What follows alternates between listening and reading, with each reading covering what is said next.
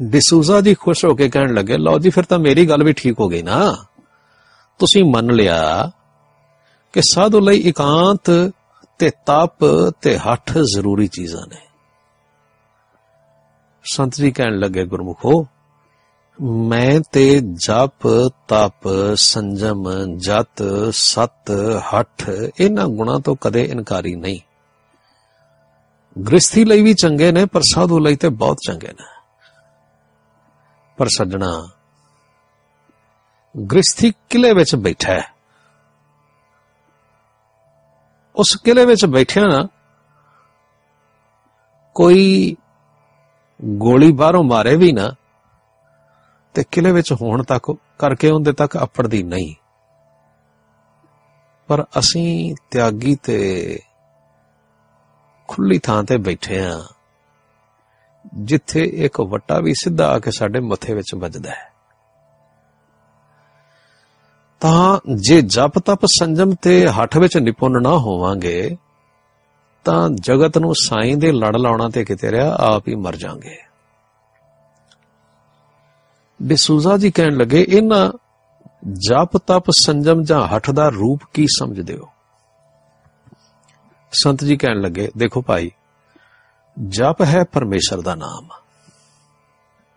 ਪਹਿਲਾ ਜਪ ਹੈ, ਰਸਨਾ ਜਪੈ ਨਾ ਨਾਮ, ਤਿਲ ਤਿਲ ਕਰ ਕਟੀਐ ਇਹ ਹੱਠ ਧਾਰ ਕੇ ਜਪਣਾ ਜਦੋਂ ਤੱਕ ਕਿ ਨਾਮ ਸਿਮਰਨ, ਇਹ ਸਿਮਰਨ ਨਾ ਹੋ ਜਾਏ। ਬਸ ਇਹ ਤਪ ਕਰਨਾ ਹੈ। ਇਸ ਸਿਮਰਨ ਨੇ ਵਾਸ਼ਨਾ ਨੂੰ ਕੱਟਣਾ ਹੈ। ਦੂਸਰਾ ਤਪ ਹੈ, ਇੰਦਰੀਆਂ ਨੂੰ ਵਸ ਵਿੱਚ ਕਰਨਾ। ਵਾਸ਼ਨਾ ਕੱਟੀ ਜਾਣ ਨਾਲ ਇੰਦਰੇ ਤੇ ਆਪੇ ਵਸ ਵਿੱਚ ਹੋ ਜਾਣਗੇ। ਪਰ ਉਸ ਸਮੇਂ ਦੇ ਆਉਂਦਿਆਂ ਤੱਕ ਤਾਂ ਇੰਦਰੀਆਂ ਨੂੰ ਹੱਠ ਤੇ ਵਿਚਾਰ ਨਾਲ ਵਸ ਵਿੱਚ ਰੱਖਣਾ ਹੈ ਨਾ। ਇੰਦਰੇ ਦਮਨ ਕਰਨਾ ਇਹ ਤਪ ਹੈ। ਮਨ ਜੇ ਮਾੜੇ ਪਾਸੇ ਵੱਲ ਜਾਏ ਤਾਂ ਹੱਠ ਕਰਕੇ ਤੇ ਵਿਚਾਰ ਵਰਤ ਕੇ ਦੇਹੀ ਨੂੰ ਰੋਕ ਲੈਣਾ ਇਹ ਤਪ ਹੈ। ਇਸ ਲਈ ਸਾਧੂ ਲਈ ਪਹਿਲੋਂ ਕੁਝ ਸਮਾਂ ਇਹ ਤਪ ਇਕਾਂਤ ਵਿੱਚ ਰਹਿ ਕੇ ਸਾਧਨਾ ਅਤ ਜ਼ਰੂਰੀ ਹੈ। ਨਹੀਂ ਤਾਂ ਗ੍ਰਸਥੀਆਂ ਵਿੱਚ ਜਾ ਕੇ ਜਦੋਂ ਵਾਹਿਗੁਰੂ ਦੀ ਗੱਲ ਸੁਣਾਏਗਾ ਨਾ, ਤਾਂ ਉਹਨਾਂ ਵਿੱਚੋਂ ਸਤਕਾਰ ਵੀ ਮਿਲੇਗਾ, ਪਿਆਰ ਵੀ ਮਿਲੇਗਾ, ਜਿਹੜਾ ਇਸ ਦੇ ਲਈ ਗਿਰਾਵਟ ਦਾ ਕਾਰਨ ਹੋ ਜਾਏਗਾ। ਜੇ ਇਸਨੇ ਇਕਾਂਤ ਵਿੱਚ ਰਹਿ ਕੇ ਸਰੀਰ ਨੂੰ ਸਰੀਰ ਦੀਆਂ ਵਾਸ਼ਨਾਵਾਂ ਨੂੰ ਕਾਬੂ ਕਰਨ ਦਾ ਯਤਨ ਕੀਤਾ ਹੋਇਆ ਹੈ, ਤਾਂ ਆਜ਼ਮਾਇਸ਼ ਦੇ ਸਮੇਂ ਬਚਿਆ ਰਹੇਗਾ। ਮਨ ਦੇ ਜਿੱਤਿਆਂ ਹੀ ਸਰੀਰ ਜਿੱਤਿਆ ਜਾਣਾ ਹੈ। ਸਰੀਰ ਦੇ ਜਿੱਤਿਆਂ ਜਗਤ ਦਾ ਜਿੱਤਿਆ ਜਾਣਾ ਹੈ। ਇਸੇ ਲਈ ਮੇਰੇ ਗੁਰੂ ਦਾ ਵਾਕ ਹੈ, ਮਨ ਜੀਤੈ, ਜਗ ਜੀਤ। ਪਰ ਇਸ ਮਨ ਨੂੰ ਸਾਧਨ ਦੇ ਨਾਲ ਨਾਲ ਸਰੀਰ ਨੂੰ ਹੱਠ ਨਾਲ ਕਾਬੂ ਰੱਖਣਾ ਵੀ ਸਾਧੂ ਦਾ ਧਰਮ ਹੈ। ਫਿਰ ਹੈ ਸੰਜਮ। ਉਹ ਹੈ ਆਪਣੀਆਂ ਲੋੜਾਂ ਨੂੰ ਘਟਾਉਣਾ। ਖਾਣ, ਪੀਣ, ਪਹਿਨਣ ਤਾਂ ਜਦੋਂ ਤੱਕ ਸਰੀਰ ਹੈ, ਉਦੋਂ ਤੱਕ ਰਹਿਣੇ ਨੇ। ਪਰ ਸਾਧੂ ਨੇ ਨਾ ਰੱਬ ਦੇ ਆਸਰੇ ਰਹਿਣਾ ਕਦੇ ਕੋਈ ਚੀਜ਼ ਮਿਲਣੀ ਹੈ, ਕਦੇ ਨਹੀਂ, ਇਸ ਲਈ ਭੁੱਖ ਜਾਂ ਦੁੱਖ ਸਹਿਣ ਦੀ ਇਹ ਨਾ ਤਪ ਸਾਧਨਾ ਕਰਨੀ ਪੈਂਦੀ ਹੈ। ਭਾਵ ਉਸ ਨੂੰ ਇਕਾਂਤ ਵਿੱਚ ਰਹਿ ਕੇ ਭੁੱਖ ਜਾਂ ਤ੍ਰੇ ਦੇ ਸਾਧਨ ਦੀ ਗੱਲ ਪਹਿਲਾਂ ਹੀ ਸਿੱਖਣੀ ਪਵੇਗੀ। ਗਰਮੀ ਜਾਂ ਸਰਦੀ ਝੱਲਣ ਦੀ ਜਾਚ ਸਿੱਖਣੀ ਪਵੇਗੀ।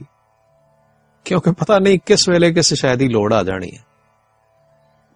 ਇਸ ਲਈ ਆਪਣੇ ਖਾਣੇ ਵਿੱਚ, ਪਹਿਨਣ ਵਿੱਚ ਸਾਧੂ ਨੂੰ ਤਾਂ ਅਤ ਸੰਜਮ ਦੀ ਲੋੜ ਹੈ।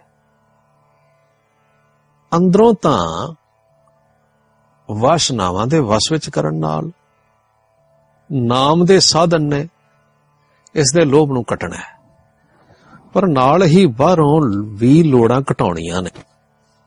ਤੇ ਫਿਰ ਬਹੁਤ ਥੋੜੇ ਵਿੱਚ ਨਿਰਵਾਹ ਕਰ ਲੈਣਾ ਤੇ ਥੋੜ ਵੇਲੇ ਸਹਿ ਸਕਣਾ, ਇਹ ਸੰਜਮ ਹੈ। ਫਿਰ ਜਤ ਹੈ। ਸਰੀਰ ਦਾ ਸਭ ਤੋਂ ਵੱਡਾ ਰਸ ਹੈ ਕਾਮ ਦਾ ਮਨੁੱਖੀ ਸਰੀਰ ਵਿੱਚ ਨਿਵਾਸ। ਸਾਡਾ ਨਾਮ ਦਾ ਸਾਧਨ ਮਨ ਨੂੰ ਵਾਹਿਗੁਰੂ ਦੇ ਪਿਆਰ ਵਿੱਚ ਲੈ ਜਾਂਦਾ ਹੈ। ਤੇ ਉਸ ਪਿਆਰ ਨੇ ਸਾਡੇ ਹੋਰ ਪਿਆਰ ਆਪਣੇ ਵਿੱਚ ਜਜ਼ਬ ਕਰ ਲੈਣੇ ਨੇ, ਖਤਮ ਕਰ ਦੇਣੇ ਨੇ। ਜਾਂ ਉਸ ਦੇ ਨਾਮ ਦਾ ਰਸ ਉਸ ਦੇ ਪਿਆਰ ਦਾ ਸਵਾਦ ਹੀ ਸੰਸਾਰਿਕ ਰਸਾਂ ਨੂੰ ਭੁਲਾ ਦਿੰਦਾ ਹੈ। ਗੁਰੂ ਜੀ ਨੇ ਕਿਹਾ ਸੀ ਨਾ, ਉਹ ਰਸ ਪੀਆ, ਇਹ ਰਸ ਨਹੀਂ ਪਾਵਾ। ਇਸ ਤਰ੍ਹਾਂ ਸਾਡੇ ਵਿੱਚ ਅਸਲ ਜਤ ਪੈਦਾ ਹੁੰਦਾ ਹੈ। ਪਰ ਅਸੀਂ ਇਕੱਲਿਆਂ ਜਗਤ ਵਿੱਚ ਵਿਚਰਨਾ ਨਹੀਂ ਨਹੀਂ, ਮਾਈ ਭਾਈ ਸਭ ਵਿੱਚ ਫਿਰਨਾ ਸਾਡੇ ਸਰੀਰ ਵਿੱਚ ਪਵਿੱਤਰਤਾ ਦਾ ਵਾਸਾ ਚਾਹੀਦਾ ਹੈ। ਇਸ ਲਈ ਕੁਝ ਸਮਾਂ ਇਕਾਂਤ ਵਿੱਚ ਰਹਿ ਕੇ ਤਪ ਨਾਲ ਸਰੀਰ ਨੂੰ ਜਤੀ ਹੋਣ ਦੇ ਗੁਣ ਵਿੱਚ ਪ੍ਰਪੱਕ ਕਰ ਲੈਣਾ ਵੀ ਸਾਧੂ ਦਾ ਧਰਮ ਹੈ। ਤਪ ਤੇ ਸਾਰਾ ਬਣਦਾ ਹੈ, ਜਿਸ ਨੇ ਸਰੀਰ ਨੂੰ ਰੋਕਣਾ ਹੈ। ਪਰ ਇਕਾਂਤ ਵਿੱਚ ਕੁਝ ਸਮਾਂ ਰਹਿ ਕੇ ਸਰੀਰ ਨੂੰ ਸਾਧਨਾ ਤੇ ਵਾਹਿਗੁਰੂ ਦੇ ਹੁਕਮ ਵਿੱਚ ਤੋਰਨਾ, ਇਹ ਵੀ ਤਪੱਸਿਆ ਕਰਨ ਦੀ ਲੋੜ ਹੈ। ਅਤੀਤ ਵਿੱਚ ਰਹਿਣ ਵਾਲੇ ਭਾਵ ਤਿਆਗੀ ਸਾਧੂ ਨੂੰ ਵਿਸ਼ੇਸ਼ ਕਰਕੇ। ਬਾਕੀ ਰਿਹਾ ਸਤ। ਉਹ ਹੈ ਸੱਚ ਵਿੱਚ ਟਿਕਾਓ। ਇਸ ਦੇ ਮਨ ਵਿੱਚ ਜੋ ਰੱਬ ਜੀ ਦਾ ਨਿਵਾਸ ਹੋਣਾ ਨਾ, ਉਹ ਪਹਿਲੋਂ ਹੈ ਦੀ ਪ੍ਰਤੀਤੀ ਹੈ ਇਹ ਹੈ ਸਤ ਜਾਂ ਸੱਚ। ਪਰ ਇਹ ਸੱਚ ਆਤਮਾ ਵਿੱਚ ਨਿਵਾਸ ਰੱਖਦਾ ਹੈ। ਇਹ ਜਦ ਅਮਲ ਵਿੱਚ ਆਉਂਦਾ ਹੈ, ਤਾਂ ਸਾਧੂ ਉਹ ਕੁਝ ਬੋਲਦਾ ਹੈ, ਜੋ ਸੱਚ ਹੈ। ਭਾਵ ਜਿਵੇਂ ਸੱਚ ਹੈ, ਉਵੇਂ ਪ੍ਰਤੀਤ ਕਰਨਾ ਤੇ ਕਹਿਣਾ। ਇਸ ਤਰ੍ਹਾਂ ਇਹ ਕੰਮ ਵੀ ਆਪਣੀ ਜ਼ੁਬਾਨ ਉੱਤੇ ਉਹ ਵਸ ਪਾ ਲੈਣ ਦਾ ਹੈ। ਹੈ ਇਹ ਵੀ ਮਨ ਦਾ ਕੰਮ। ਪਰ ਇਸ ਲਈ ਵੀ ਅਤੀਤ ਸਾਧੂ ਨੂੰ ਕੁਝ ਸਮਾਂ ਇਕਾਂਤ ਵਿੱਚ ਰਹਿਣ ਦੀ ਲੋੜ ਹੈ। ਇਕਾਂਤ ਵਿੱਚ ਬੋਲਣਾ ਆਪੇ ਹੀ ਘਟ ਜਾਏਗਾ। ਸਹਿਜ ਸੁਭਾਵਕ ਹੀ ਮੌਨ ਰਹਿਣ ਦਾ ਮੌਕਾ ਆ ਜਾਏਗਾ। ਇਹ ਮੌਨ ਜਾਂ ਇਹ ਚੁੱਪ ਹੀ ਉਸ ਦੀ ਤਪ ਵਾਲੀ ਗੱਲ ਹੋਵੇਗੀ। ਜੋ ਉਸ ਨੂੰ ਰਸਨਾ ਦੇ ਸੱਚ ਜਾਂ ਝੂਠ ਬੋਲਣ ਤੋਂ ਮੌਨ ਅਵਸਥਾ ਵਿੱਚ ਸ਼ਾਂਤੀ ਵਿੱਚ ਲੈ ਜਾਏਗਾ। ਉਸ ਵੇਲੇ ਸਾਧੂ ਨੂੰ ਅਸਲੀ ਸੱਚ ਦੀ ਸੋਝੀ ਆ ਜਾਏਗੀ। ਫਿਰ ਜਦੋਂ ਬੋਲੇਗਾ ਨਾ ਤਾਂ ਰਸਨਾ ਸੱਚ ਹੀ ਬੋਲੇਗੀ। ਇਸ ਪ੍ਰਕਾਰ ਅਤੀਤ ਸਾਧੂ ਲਈ ਨਾਮ ਅਭਿਆਸ ਦੇ ਨਾਲ ਇਹਨਾਂ ਸਾਧਨਾਵਾਂ ਦੀ ਲੋੜ ਵੀ ਹੈ। ਡਿਸੂਜ਼ਾ ਜੀ ਕਹਿਣ ਲੱਗੇ ਕਿ ਇਸ ਤਰ੍ਹਾਂ ਕੁਝ ਸਮਾਂ ਤਪ ਕਰਕੇ ਜਗਤ ਦੀ ਸੇਵਾ ਦਾ ਕੰਮ ਫਿਰ ਨਿਰਪੈ ਹੋ ਕੇ ਤੁਰ ਪਾਏਗਾ। ਸੰਤ ਜੀ ਕਹਿਣ ਲੱਗੇ, ਹਾਂ, ਤੁਰ ਤੇ ਪਾਏਗਾ। ਪਰ ਤਜਰਬਾ ਫਿਰ ਕੁਝ ਹੋਰ ਸਿਖਾਵੇਗਾ। ਸਾਧੂ ਤਾਂ ਜਾਏਗਾ ਜਗਤ ਵਿੱਚ ਜਗਤ ਦਾ ਦੁੱਖ ਦੂਰ ਕਰਨ ਲਈ।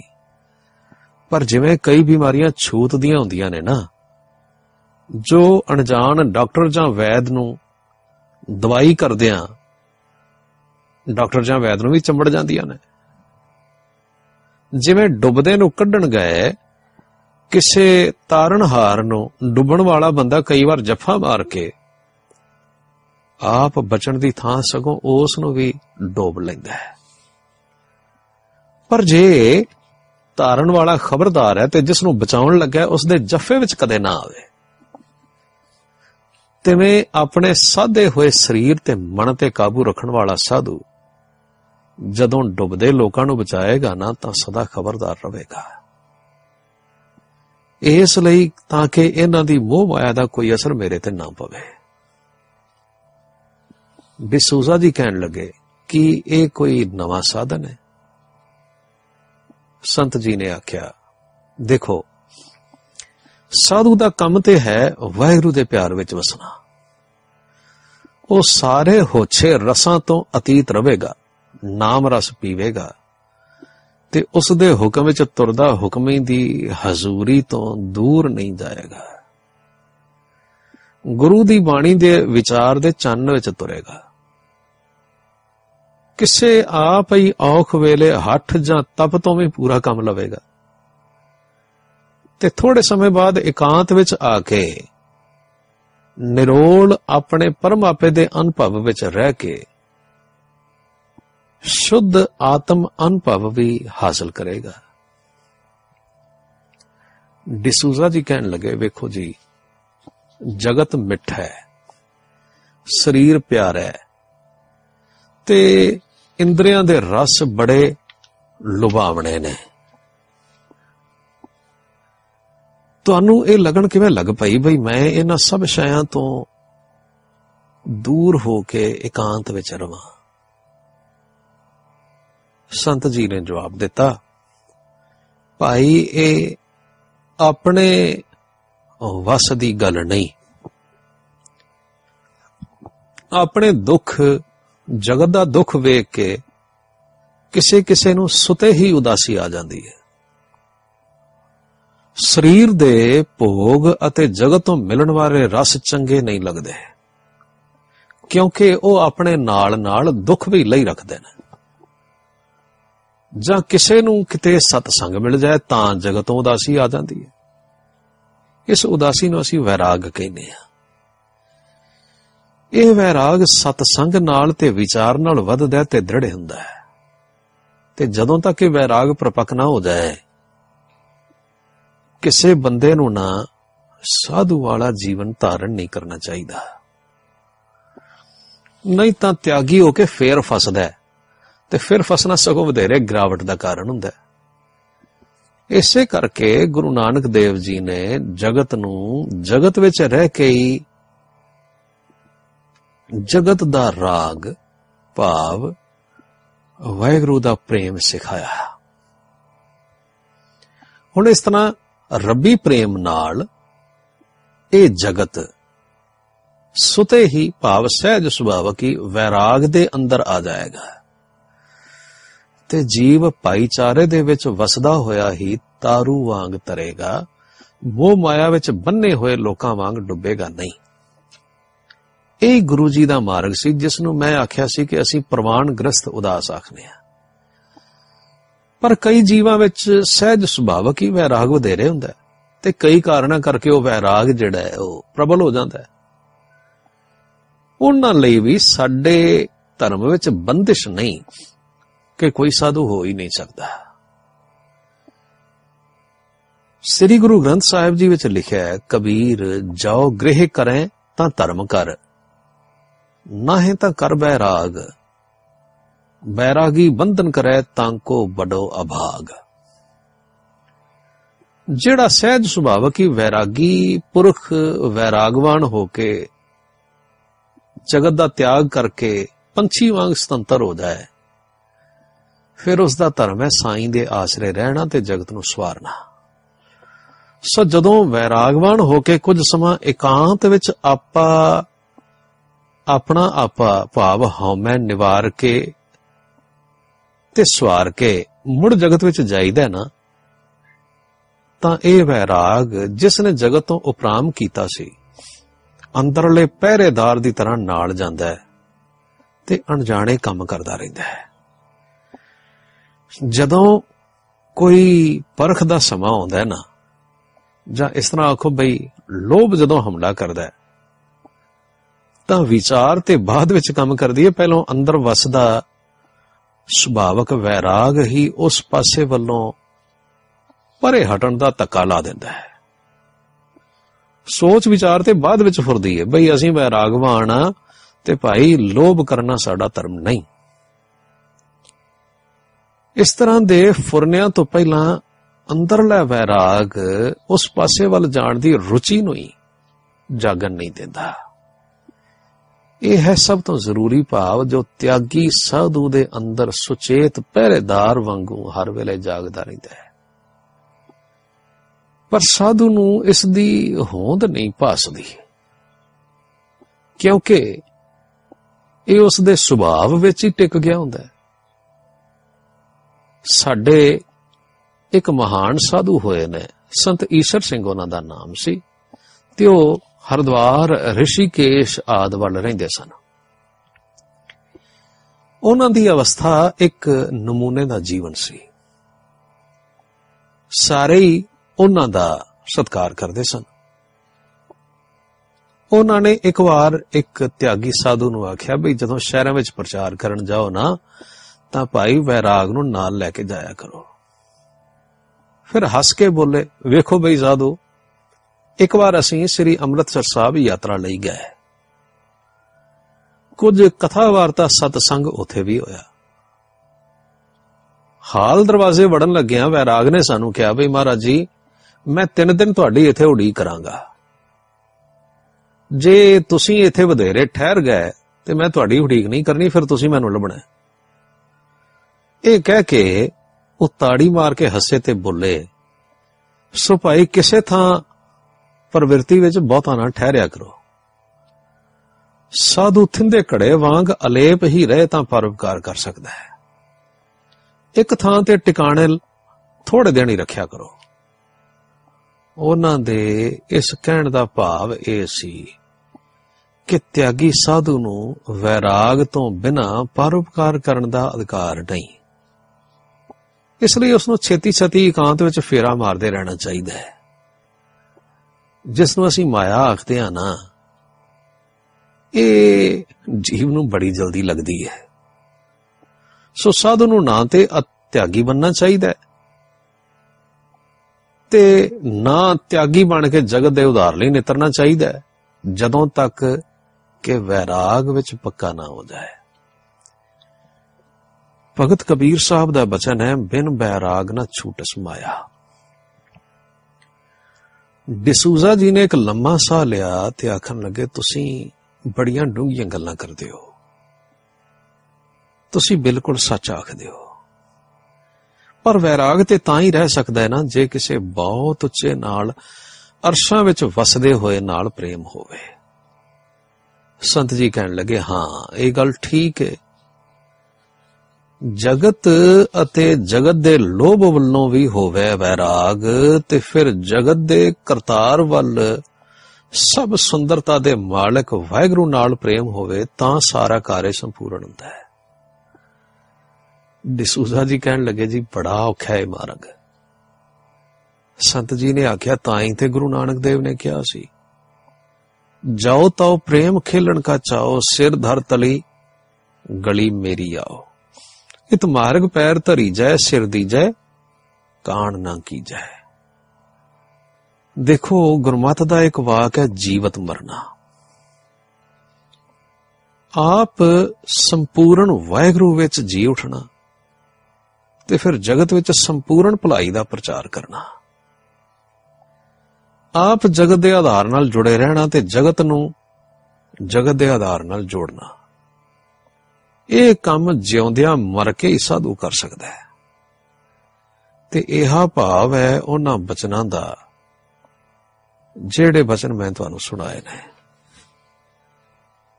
ਡਿਸੂਜ਼ਾ ਨੇ ਆਖਿਆ, ਕਿ ਤੁਹਾਡੇ ਵਿੱਚ ਗ੍ਰਸਤੀ ਸਾਧੂ ਵੀ ਹੁੰਦੇ ਨੇ? ਸੰਤ ਜੀ ਕਹਿਣ ਲੱਗੇ, ਹਾਂ ਜੀ। ਜਿਹੜੇ ਪ੍ਰਵਾਨ ਗ੍ਰਸਤ ਉਦਾਸ ਦਾ ਆਦਰਸ਼ ਧਾਰਨ ਕਰਦੇ ਨੇ ਤੇ ਫਿਰ ਇਸੇ ਤਰ੍ਹਾਂ ਕਿਸੇ ਤਰ੍ਹਾਂ ਆਪਣੀ ਕਮਾਈ ਜਗਤ ਨਾਲ ਵੰਡਦੇ ਨੇ ਨਾ, ਉਹ ਆਪਣੇ ਵਿੱਤ ਅਨੁਸਾਰ ਉਪਕਾਰ ਵੀ ਕਰਦੇ ਨੇ।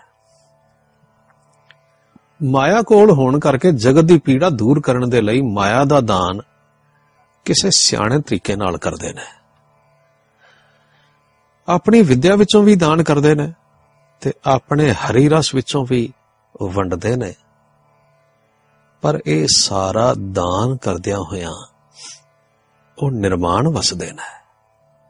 ਭਾਵੇਂ ਜਗਤ ਮਾਣ ਦਿੰਦਾ ਹੈ, ਪਰ ਉਹ ਮਨ ਨੂੰ ਮਾਣ ਤੋਂ ਬੇਲਾਗ ਰੱਖਣ ਲਈ ਇੱਕ ਸਾਧਨ ਕਰਦੇ ਨੇ, ਜਿਸ ਨੂੰ ਅਸੀਂ ਇਸ਼ਨਾਨ ਕਹਿੰਦੇ ਆ ਸਰੀਰ ਨੂੰ ਜਲ ਨਾਲ ਸਾਫ਼ ਰੱਖਣਾ ਇਸ਼ਨਾਨ ਹੈ। ਤੇ ਸਰੀਰ ਨੂੰ ਮਾੜੇ ਕਰਮਾਂ ਵੱਲੋਂ ਵਰਜੀ ਰੱਖਣਾ ਇਹ ਵੀ ਇਸ਼ਨਾਨ ਹੈ। ਮਨ ਨੂੰ ਅਸ਼ੁਭ ਫੁਰਨਿਆਂ ਤੋਂ ਸਾਫ਼ ਰੱਖਣਾ, ਇਹ ਵੀ ਇਸ਼ਨਾਨ ਹੈ। ਤੇ ਬੁੱਧੀ ਨੂੰ ਕਿਸੇ ਪਕੜ ਵਿੱਚ ਅਟਕਣ ਨਾ ਦੇਣਾ ਤੇ ਉਜਲ ਰੱਖਣਾ, ਇਹ ਵੀ ਇਸ਼ਨਾਨ ਹੈ। ਇਸ ਇਸ਼ਨਾਨ ਦੇ ਲਈ ਗੁਰਬਾਣੀ ਦਾ ਪਾਠ ਕਰੀਦਾ ਹੈ।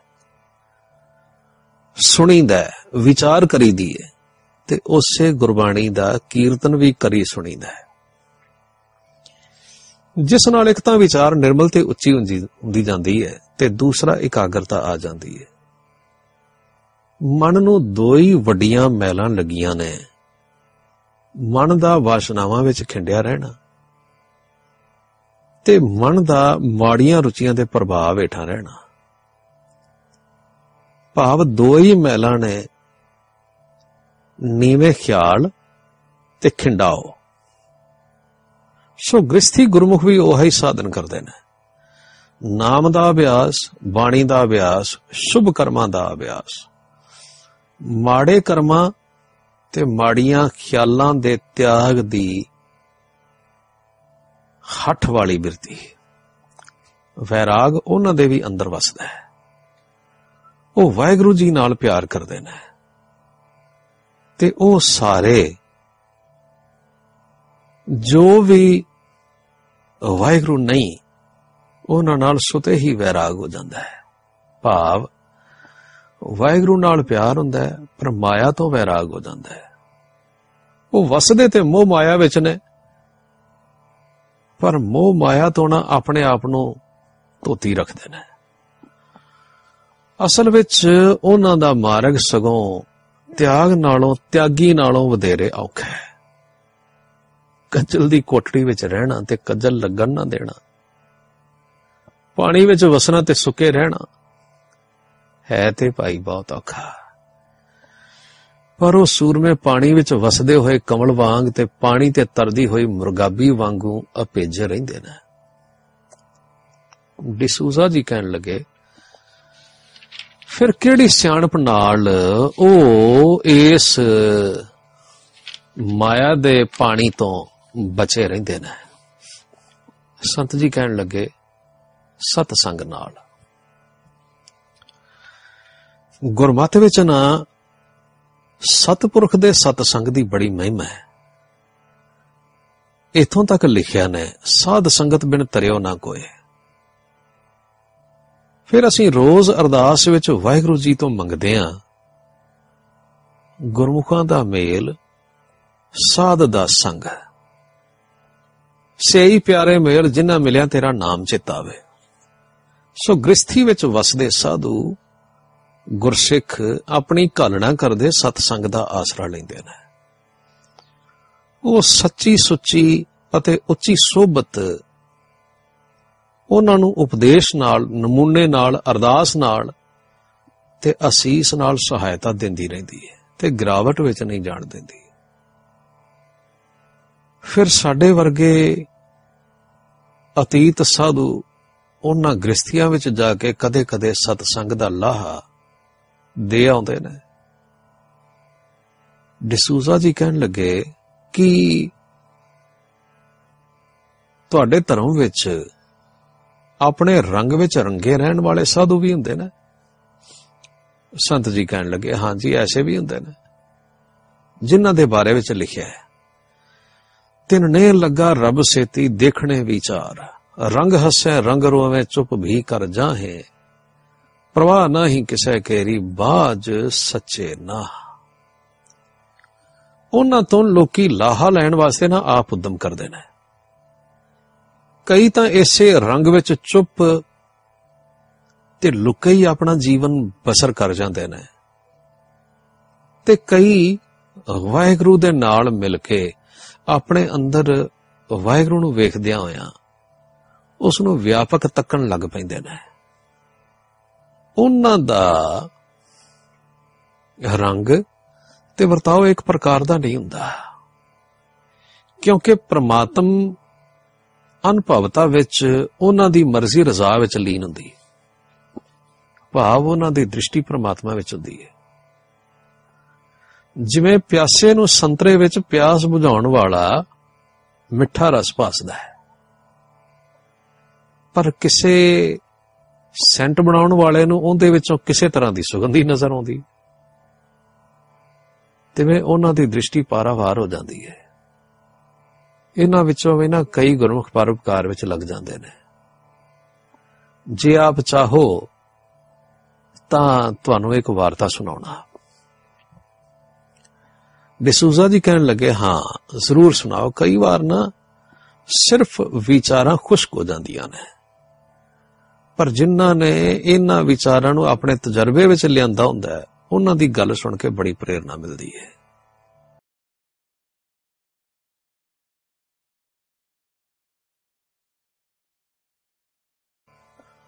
ਸੰਤ ਜੀ ਕਹਿਣ ਲੱਗੇ, ਪੰਜਾਬ ਵਿੱਚ ਅੰਮ੍ਰਿਤਸਰ ਸ਼ਹਿਰ ਇੱਕ ਵੱਡਾ ਸ਼ਹਿਰ ਹੈ ਤੇ ਸਿੱਖੀ ਦਾ ਬਹੁਤ ਵੱਡਾ ਕੇਂਦਰ ਹੈ। ਡਿਸੂਜ਼ਾ ਜੀ ਕਹਿਣ ਲੱਗੇ, ਹਾਂ, ਮੈਂ ਸੁਣਿਆ ਤੇ ਹੈ ਤੇ ਕਦੇ ਵੇਖਣ ਦੀ ਇੱਛਾ ਵੀ ਹੈ। ਸੰਤ ਜੀ ਕਹਿਣ ਲੱਗੇ, ਉਥੋਂ 15 ਕੋ ਮੀਲ ਦੂਰ ਇੱਕ ਹੋਰ ਸ਼ਹਿਰ ਹੈ, ਜਿਸ ਨੂੰ ਤਰਨਤਾਰਨ ਆਖਦੇ ਨੇ। ਤੇ ਇਸ ਤੋਂ ਥੋੜਾ ਜਿਹਾ ਹੋਰ ਅੱਗੇ ਜਾ ਕੇ ਨਾ, ਬਿਆਸ ਨਦੀ ਦੇ ਕਿਨਾਰੇ ਇੱਕ ਹੋਰ ਪਿੰਡ ਹੈ, ਪੰਗਾਲਾ। ਜਿੱਥੇ ਇੱਕ ਤਿਆਗੀ ਸਿੱਖ ਸੰਤ ਹੋਏ ਨੇ, ਸੰਤ ਸਰਦੂਲ ਸਿੰਘ ਜੀ। ਉਹਨਾਂ ਨੂੰ ਇੱਕ ਹੋਰ ਤਿਆਗੀ ਸੰਤ ਮਿਲੇ ਸਨ, ਜਿਨ੍ਹਾਂ ਦਾ ਪਹਿਲਾ ਜੀਵਨ ਤੇ ਚੰਗਾ ਨਹੀਂ ਸੀ। ਪਰ ਕਿਸੇ ਸਾਧੂ ਦੀ ਮਿਹਰ ਨਾਲ ਉਹ ਪੂਰਨ ਗੁਰਮੁਖ ਅਵਸਥਾ ਨੂੰ ਪਹੁੰਚੇ ਤੇ ਮਹਾਪੁਰਖ ਹੋ ਗਏ।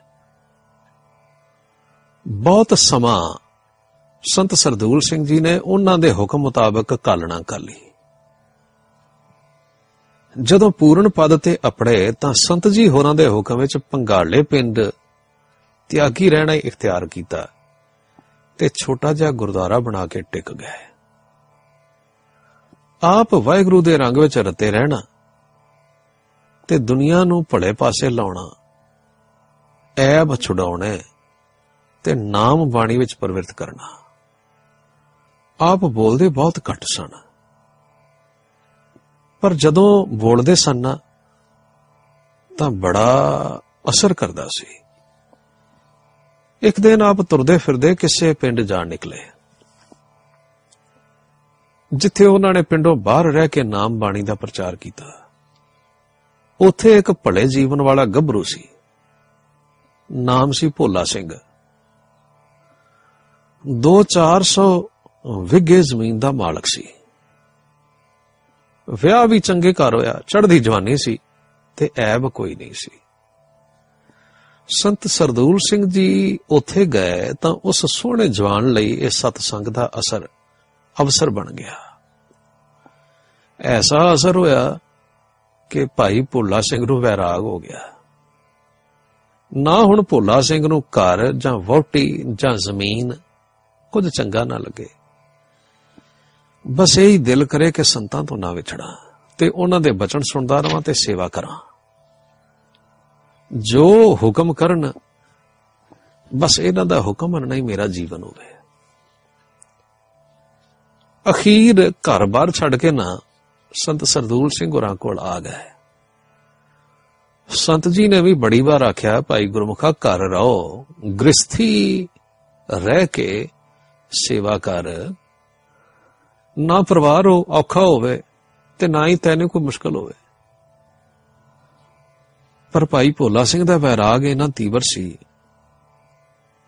ਬਈ ਹੋਰ ਕਿਸੇ ਗੱਲ ਦੀ ਨਾ ਪੇਸ਼ ਨਾ ਗਈ। ਤੇ ਸਾਰਾ ਕੁਝ ਛੱਡ ਕੇ ਨਾ ਸੰਤਾਂ ਦੇ ਦੁਆਰੇ ਟਿਕ ਗਏ। ਬਾਣੀ ਦਾ ਪਾਠ, ਕੀਰਤਨ, ਨਾਮ ਦਾ ਅਭਿਆਸ ਤੇ ਵਾਹਿਗੁਰੂ ਦਾ ਪ੍ਰੇਮ ਇਹ ਅਤ ਪ੍ਰਬਲ ਹੋ ਗਏ ਕੋਈ ਇੱਕ ਦੋ ਨਹੀਂ, ਬਲਕਿ 20 22 ਸਾਲ ਇਸੇ ਤਰ੍ਹਾਂ ਬੀਤੇ।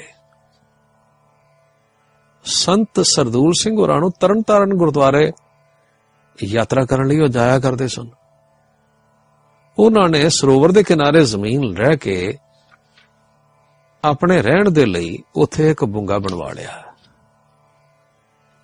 ਤੇ ਇਸ ਬੁੰਗੇ ਦੀ ਇਮਾਰਤ ਵਿੱਚ ਜਿਹੜਾ ਚੂਨਾ ਲੱਗਾ ਹੈ ਨਾ ਉਹ ਉਸ ਸੰਤ ਭੋਲਾ ਸਿੰਘ ਦੇ ਹੱਥਾਂ ਦਾ ਪੀਸਿਆ ਹੋਇਆ ਸੀ।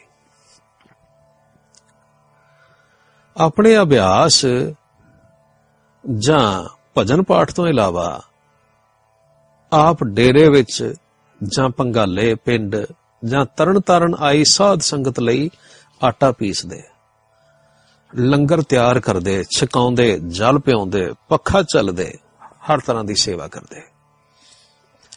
ਹੁਣ ਆਪ ਇੰਨੇ ਅਨੁਭਵੀ ਹੋ ਗਏ ਕਿ ਸੇਵਾ ਵਿੱਚ ਆਤਮ ਦ੍ਰਿਸ਼ਟੀ ਖੁੱਲ ਗਈ। ਇੱਕ ਵਾਰ ਪੰਗਾਲੇ ਦੀ ਗੱਲ ਏ। ਰਾਤ 10-12 ਵਜੇ ਦੇ ਕਰੀਬ ਸੰਤ ਸਰਦੂਲ ਸਿੰਘ ਜੀ ਨੇ ਆਖਿਆ, ਭੋਲਾ ਸਿਆ, ਬਈ ਖੂਹ ਤੇ ਜਾ। ਕਣਕ ਪੱਕੀ ਹੋਈ ਏ ਤੇ ਇਹ ਅੰਨ ਸਾਧ ਸੰਗਤ ਲਈ ਤਿਆਰ ਹੋਇਆ। ਹੈ ਇਸ ਤਰ੍ਹਾਂ ਨਾ ਹੋਵੇ ਬਈ ਰਾਤ ਨੂੰ ਐਵੇਂ ਕੋਈ ਵੱਢ ਕੇ ਲੈ ਜਾਏ। ਤੂੰ ਇਸ ਵੇਲੇ ਨਾ ਰੋਜ਼ ਰਾਤ ਨੂੰ ਚਲਾ ਜਾਇਆ ਕਰ। ਤੇ ਕੁਝ ਦਿਨ ਨਾ ਇਸ ਤਰ੍ਹਾਂ ਫਸਲ ਦੀ ਰਾਖੀ ਕਰਿਆ ਕਰ। ਸਤਵਚਨ ਕਹਿ ਕੇ ਆਪ ਜੀ ਖੂਹ ਨੂੰ ਚਲੇ ਗਏ। ਇਸ ਵੇਲੇ ਤਾਰਿਆਂ ਵਿੱਚ ਨਹਾਤੀ ਹੋਈ ਰਾਤ ਸੀ। ਆਪ ਸ਼ਾਂਤ ਸਤੋਗੁਣੀ ਭਾਵ ਵਿੱਚ ਆਨੰਦ ਲੈਂਦੇ ਟਿਕੇ ਹੋਏ ਸਨ। ਵੇਖਿਆ ਨੇ ਬਈ ਖੂਹ ਦੇ ਨੇੜੇ ਚਾਰ ਆਦਮੀ ਕਣਕ ਵੱਢ ਕੇ ਪੰਡਾ ਬੰਨ ਕੇ ਇੱਕ ਦੂਜੇ ਨੂੰ ਚੁਕਾ ਰਹੇ ਨੇ। ਜਦੋਂ ਤਿੰਨ ਜਣੇ ਪੰਡਾ ਚੁੱਕ ਕੇ ਤੁਰ ਪਏ ਤਾਂ ਚੌਥੇ ਨੇ ਕਿਹਾ ਵੀ ਮੈਨੂੰ ਵੀ ਚੁਕਾਓ। ਉਹਨਾਂ ਨੇ ਕਿਹਾ, ਬਈ ਪੰਡਾ ਭਾਰੀਆਂ ਨੇ ਤੇ ਸਾਥੋਂ ਨਾ ਰੁਕਿਆ ਜਾਂਦਾ ਤੇ ਨਾ ਚੁਕਾਇਆ ਜਾਂਦਾ। ਤੂੰ ਜਾਣ ਤੇ ਤੇਰਾ ਕੰਮ ਜਾਣੇ। ਇਹ ਕਹਿ ਕੇ ਉਹ ਤੇ ਰਾਹ ਪੈ ਗਏ। ਤੇ ਇੱਧਰ ਭੋਲਾ ਸਿੰਘ ਨੇ ਅੱਗੇ ਹੋ ਕੇ ਕਿਹਾ, ਭਾਈ ਤੂੰ ਕਿਉਂ ਦੁਖੀ ਹੈ? ਆ ਮੈਂ ਤੈਨੂੰ ਪੰਡ ਚੁਕਾ ਦੇਣਾ। ਚੋਰ ਨੇ ਕਿਹਾ, ਤੇਰਾ ਭਲਾ ਹੋਵੇ। ਸੋ ਭੋਲਾ ਸਿੰਘ ਨੇ ਅੱਗੇ ਹੋ ਕੇ ਪੰਡ ਚੁਕਾ ਦਿੱਤੀ ਤੇ ਆਪ ਉਸੇ ਆਨੰਦ ਵਿੱਚ ਖੂਹ ਤੇ ਬਹਿ ਗਏ। ਆਨੰਦ ਨਾਲ ਝੂਮਦੇ ਰਹੇ। ਸਵੇਰ ਹੋਈ ਪਉ ਫੁੱਟੀ। ਆਪ ਵੀ ਡੇਰੇ ਆਏ ਤੇ ਰੋਜ਼ ਵਾਂਗ ਸੰਤਾਂ ਦੀ ਸੇਵਾ ਕੀਤੀ। ਸੰਗਤ ਨੂੰ ਪ੍ਰਸ਼ਾਦ ਚੁਕਾਇਆ। ਤੀਜੇ ਪੈਰ ਸੰਤ ਸਰਦੂਰ ਸਿੰਘ ਜੀ ਵਿਹੜੇ ਵਿੱਚ ਬੈਠੇ ਸਨ। ਜਦੋਂ ਉਹਨਾਂ ਨੇ ਪੁੱਛਿਆ, ਭੋਲਾ ਸਿੰਘ, ਬਈ ਰਾਤ ਸੁਖ ਰਿਆ ਭੋਲਾ ਸਿੰਘ ਜੀ ਕਹਿਣ ਲੱਗੇ, ਜੀ, ਤੁਹਾਡੀ ਕਿਰਪਾ ਨਾਲ ਰਾਤ ਬੜੀ ਸੋਹਣੀ ਬੀਤੀ ਸੰਤ ਜੀ ਨੇ ਪੁੱਛਿਆ ਵੀ ਰਾਤ ਕੋਈ ਆਇਆ ਗਿਆ ਤੇ ਨਹੀਂ? ਇਹ ਸੁਣ ਕੇ ਜਗਿਆਸੂ ਭੋਲਾ ਸਿੰਘ ਨੇ ਸਾਰਾ ਹਾਲ ਕਹਿ ਸੁਣਾਇਆ। ਸਾਰੀ ਵਾਰਤਾ ਸੁਣ ਕੇ ਸੰਤਾਂ ਦੀ ਖੁਸ਼ੀ ਦਾ ਟਿਕਾਣਾ ਨਾ ਰਿਹਾ। ਉੱਠ ਕੇ ਆਪਣੇ ਪਿਆਰੇ ਸੇਵਕ ਭੋਲਾ ਸਿੰਘ ਨੂੰ ਛਾਤੀ ਨਾਲ ਲਾਇਆ। ਹਾਂ, ਅੱਜ ਪਹਿਲਾ ਦਿਨ ਸੀ ਬਈ 20 22 ਸਾਲਾਂ ਦੀ ਕਾਲ ਵਿੱਚ ਸੰਤਾਂ ਨੇ ਆਪਣੇ ਸੇਵਕ ਨਾਲ ਪਿਆਰ ਕੀਤਾ। ਛਾਤੀ ਨਾਲ ਕੁੱਟਿਆ। ਸਿਰ ਤੇ ਪਿਆਰ ਦਿੱਤਾ ਤੇ ਆਖਿਆ, ਤੇਰੀ ਘਾਲਣਾ ਥਾਂ ਪਈ ਕੁਝ ਦੇਰ ਚੁੱਪ ਰਹੇ, ਨੈਣ ਭਰ ਗਏ, ਬੁੱਲ ਫਰਕੇ। ਪਰ ਕੁਝ ਦੇਰ ਮਗਰੋਂ ਫੇਰ ਆਖਿਆ, ਕਾਕਾ, ਤੈਨੂੰ ਉਸ ਵੇਲੇ ਉਹ ਚੋਰ ਨਾ ਦਿਸੇ? ਆਪ ਜੀ ਨੇ ਆਖਿਆ, ਨਹੀਂ ਦਾਤਾ ਜੀ, ਜਦੋਂ ਮੈਂ ਤੁਹਾਡੀ ਆਗਿਆ ਵਿੱਚ ਖੂਹ ਨੂੰ ਜਾ ਰਿਹਾ ਸਾਂ ਨਾ ਮੈਨੂੰ ਇਸ ਤਰ੍ਹਾਂ ਜਾਪਿਆ ਕਿ ਹਰ ਪਾਸੇ ਵਾਹਿਗੁਰੂ ਦੀ ਜੋਤ ਪਸਰ ਰਹੀ ਹੈ। ਉਹੀ ਮਾਲਕ ਹੈ, ਉਹੀ ਪਾਲਣਾ ਕਰਨ ਵਾਲਾ ਹੈ, ਉਹੀ ਸੰਭਾਲਣ ਵਾਲਾ ਹੈ, ਸਾਰੇ ਉਸੇ ਦੇ ਦਰੋਂ ਲੈ ਕੇ ਖਾ ਰਹੇ ਨੇ, ਸਾਰੇ ਭੰਡਾਰ ਉਸ ਦੇ ਨੇ। ਅਸੀਂ ਸਾਰੇ ਉਸ ਦੇ ਭਿਖਾਰੀ ਹਾਂ। ਖੇਤ ਉਸ ਦੇ, ਫਸਲ ਉਸ ਦੀ, ਵੱਢਣ ਹਾਰ ਸਭ ਉਸੇ ਦਰ ਦੇ ਭਿਖਾਰੀ। ਜਦੋਂ ਇਸ ਆਨੰਦ ਵਿੱਚ ਮੈਂ ਉੱਥੇ ਪਹੁੰਚਿਆ ਤਾਂ ਵੇਖਿਆ, ਬਈ ਤਿੰਨ ਚਾਰ ਜਣੇ ਨਾ ਫਸਲ ਦੀਆਂ ਭਰੀਆਂ ਚੁਕਾ ਰਹੇ ਨੇ। ਫਿਰ ਮੈਂ ਵੇਖਿਆ ਵੀ ਤਿੰਨ ਤੇ ਤੁਰ ਪਏ ਨੇ ਤੇ ਚੌਥੇ ਨੂੰ ਮੈਂ ਵੇਖਿਆ ਬਈ ਉਹ ਆਪ ਚੁੱਕ ਨਹੀਂ ਸਕਦਾ ਤੇ ਸਾਥੀਆਂ ਦੀਆਂ ਮਿੰਨਤਾਂ ਪਿਆ ਕਰਦਾ ਬਈ ਮੈਨੂੰ ਵੀ ਚੁਕਾਓ। ਪਰ ਉਹਨਾਂ ਨੇ ਕੁਝ ਨਾ ਸੁਣੀ ਤੇ ਤੁਰ ਗਏ। ਮੈਂ ਮਨ ਵਿੱਚ ਸੋਚਿਆ, ਬਈ ਇਹ ਵਿਚਾਰਾ ਦਾਤੇ ਦੇ ਤਰੋਂ ਦਾਨ ਲੈ ਕੇ ਹੁਣ ਚੁੱਕ ਨਹੀਂ ਪਾ ਰਿਹਾ। ਮੇਰੇ ਮਨ ਵਿੱਚ ਦਇਆ ਆਈ। ਮੈਂ ਉਸ ਨੂੰ ਪੰਡ ਚੁਕਾ ਦਿੱਤੀ। ਸੱਚਮੁੱਚ ਨਾ ਮੈਨੂੰ ਉਸ ਵੇਲੇ ਬਿਲਕੁਲ ਇਹ ਖਿਆਲ ਹੀ ਨਹੀਂ ਆਇਆ ਬਈ ਮੈਂ ਇੱਥੇ ਰਾਖੀ ਕਰਨ ਆਇਆ। ਤੇ ਇਹ ਚੋਰ ਹੈ। ਨਹੀਂ, ਮੈਨੂੰ ਤਾਂ ਸਿਰਫ ਇਹਨਾਂ ਹੀ ਦੱਸ ਰਿਹਾ ਸੀ ਕਿ ਜਗਤ ਮੰਗਤਾ ਹੈ ਤੇ ਸਿਰਫ ਵਾਹਿਗੁਰੂ ਹੀ ਦਾਤਾ ਹੈ। ਸਾਰੀ ਰਾਤ ਮੈਨੂੰ ਇਸੇ ਤਰ੍ਹਾਂ ਹੀ ਲੱਗਦਾ ਰਿਹਾ। ਰਾਤ ਤੇ ਸਾਰੀ ਇਸ ਤਰ੍ਹਾਂ ਲੰਘ ਗਈ। ਜਦੋਂ ਮੈਂ ਡੇਰੇ ਨੂੰ ਮੁੜਿਆ, ਉਸ ਵੇਲੇ ਕਈ ਵਾਰ ਮੈਨੂੰ ਸੋਚ ਆਈ, ਬਈ ਮੈਨੂੰ ਤੇ ਸੰਤ ਜੀ ਨੇ ਰਾਖੀ ਕਰਨ ਭੇਜਿਆ ਸੀ ਤੇ ਮੈਂ ਸਗੋਂ ਕਣਕ ਚੁਕਾ ਦਿੱਤੀ। ਫਿਰ ਸੋਚ ਫੁਰਦੀ ਏ, ਮੈਨੂੰ ਤੇ ਚੋਰ ਜਾਂ ਸਾਧ ਜਾਂ ਰਾਖਾ, ਇਹ ਤੇ ਖਬਰ ਹੀ ਨਹੀਂ ਸੀ। ਇਹ ਤੇ ਉਸ ਵੇਲੇ ਵਾਹਿਗੁਰੂ ਨੇ ਕੋਈ ਹੋਰ ਹੀ ਦ੍ਰਿਸ਼ਟੀ ਮੈਨੂੰ ਦੇ ਦਿੱਤੀ ਸੀ। ਸ਼ਾਇਦ ਤੁਸੀਂ ਕੋਈ ਕੌਤਕ ਰਚਿਆ ਹੋਵੇ। ਪਰ ਫਿਰ ਖਿਆਲ ਆਉਂਦਾ, ਨਹੀਂ, ਤੁਸੀਂ ਤਾਂ ਮੇਰੀ ਡਿਊਟੀ ਲਾਈ ਸੀ ਰੱਖਿਆ ਕਰਨ ਦੀ। ਫਿਰ ਮਨ ਕਰਦਾ ਬਈ ਮੈਂ ਤੁਹਾਡੇ ਕੋਲੋਂ ਮਾਫੀ ਕਿਉਂ ਨਾ ਮੰਗ ਲਵਾਂ। ਇਹ ਸੁਣ ਕੇ ਸੰਤ ਜੀ ਹੋਰਾਂ ਦੀਆਂ ਅੱਖਾਂ ਗਿੱਲੀਆਂ ਹੋ ਗਈਆਂ। ਬੜੇ ਪਿਆਰ ਤੇ ਵੈਰਾਗ ਵਿੱਚ ਆਏ ਤੇ ਆਖਣ ਲੱਗੇ, ਕਾਕਾ, ਭੋਲਾ ਸਿੰਘ, ਬਈ ਤੇਰੇ ਉੱਤੇ ਗੁਰੂ ਨਾਨਕ ਦੀ ਬਹੁਤ ਮਿਹਰ ਹੋਈ ਹੈ। ਤੂੰ ਤਿਆਗੀ ਸਿੱਖ ਹੈ। ਤੂੰ ਮੈਂ ਅਤੇ ਮੇਰੀ ਤੋਂ ਉੱਚੇ ਉੱਠਣਾ ਸੀ ਤੇ ਤੈਨੂੰ ਮੈਨੂੰ ਤੇ ਫਤਿਹ ਪਾਉਣੀ ਸੀ। ਗੁਰੂ ਨੇ ਤੈਨੂੰ ਬ੍ਰਹਮ ਦ੍ਰਿਸ਼ਟੀ ਬਖਸ਼ਣੀ ਸੀ। ਸੋ ਇਸ ਨੇ ਇਸ ਕੌਤਕ ਵਿੱਚ ਹੀ ਇਹ ਬ੍ਰਹਮ ਦ੍ਰਿਸ਼ਟੀ ਬਖਸ਼ ਦਿੱਤੀ। ਤੇਰੇ ਸਾਰੇ ਤਾਪ ਨਿਵਰਤ ਹੋਏ। ਆਖ ਧੰਨ ਗੁਰੂ ਨਾਨਕ। ਫਿਰ ਆਖਿਓ ਨੇ, ਪੁੱਤਰ ਭੋਲਾ ਸਿੰਘ, ਬਈ ਦੇਖੇ ਨਾ, ਇੱਕ ਮਾਲ ਹੈ ਤੇ ਇੱਕ ਮਾਲਕ ਹੈ। ਮਾਲਕ ਹੈ ਵਾਹਿਗੁਰੂ ਤੇ ਮਾਲ ਹੈ ਉਸ ਦੀ ਕੁਦਰਤ ਜਿਹੜੀ ਉਸਨੇ ਸਾਜੀ ਹੈ।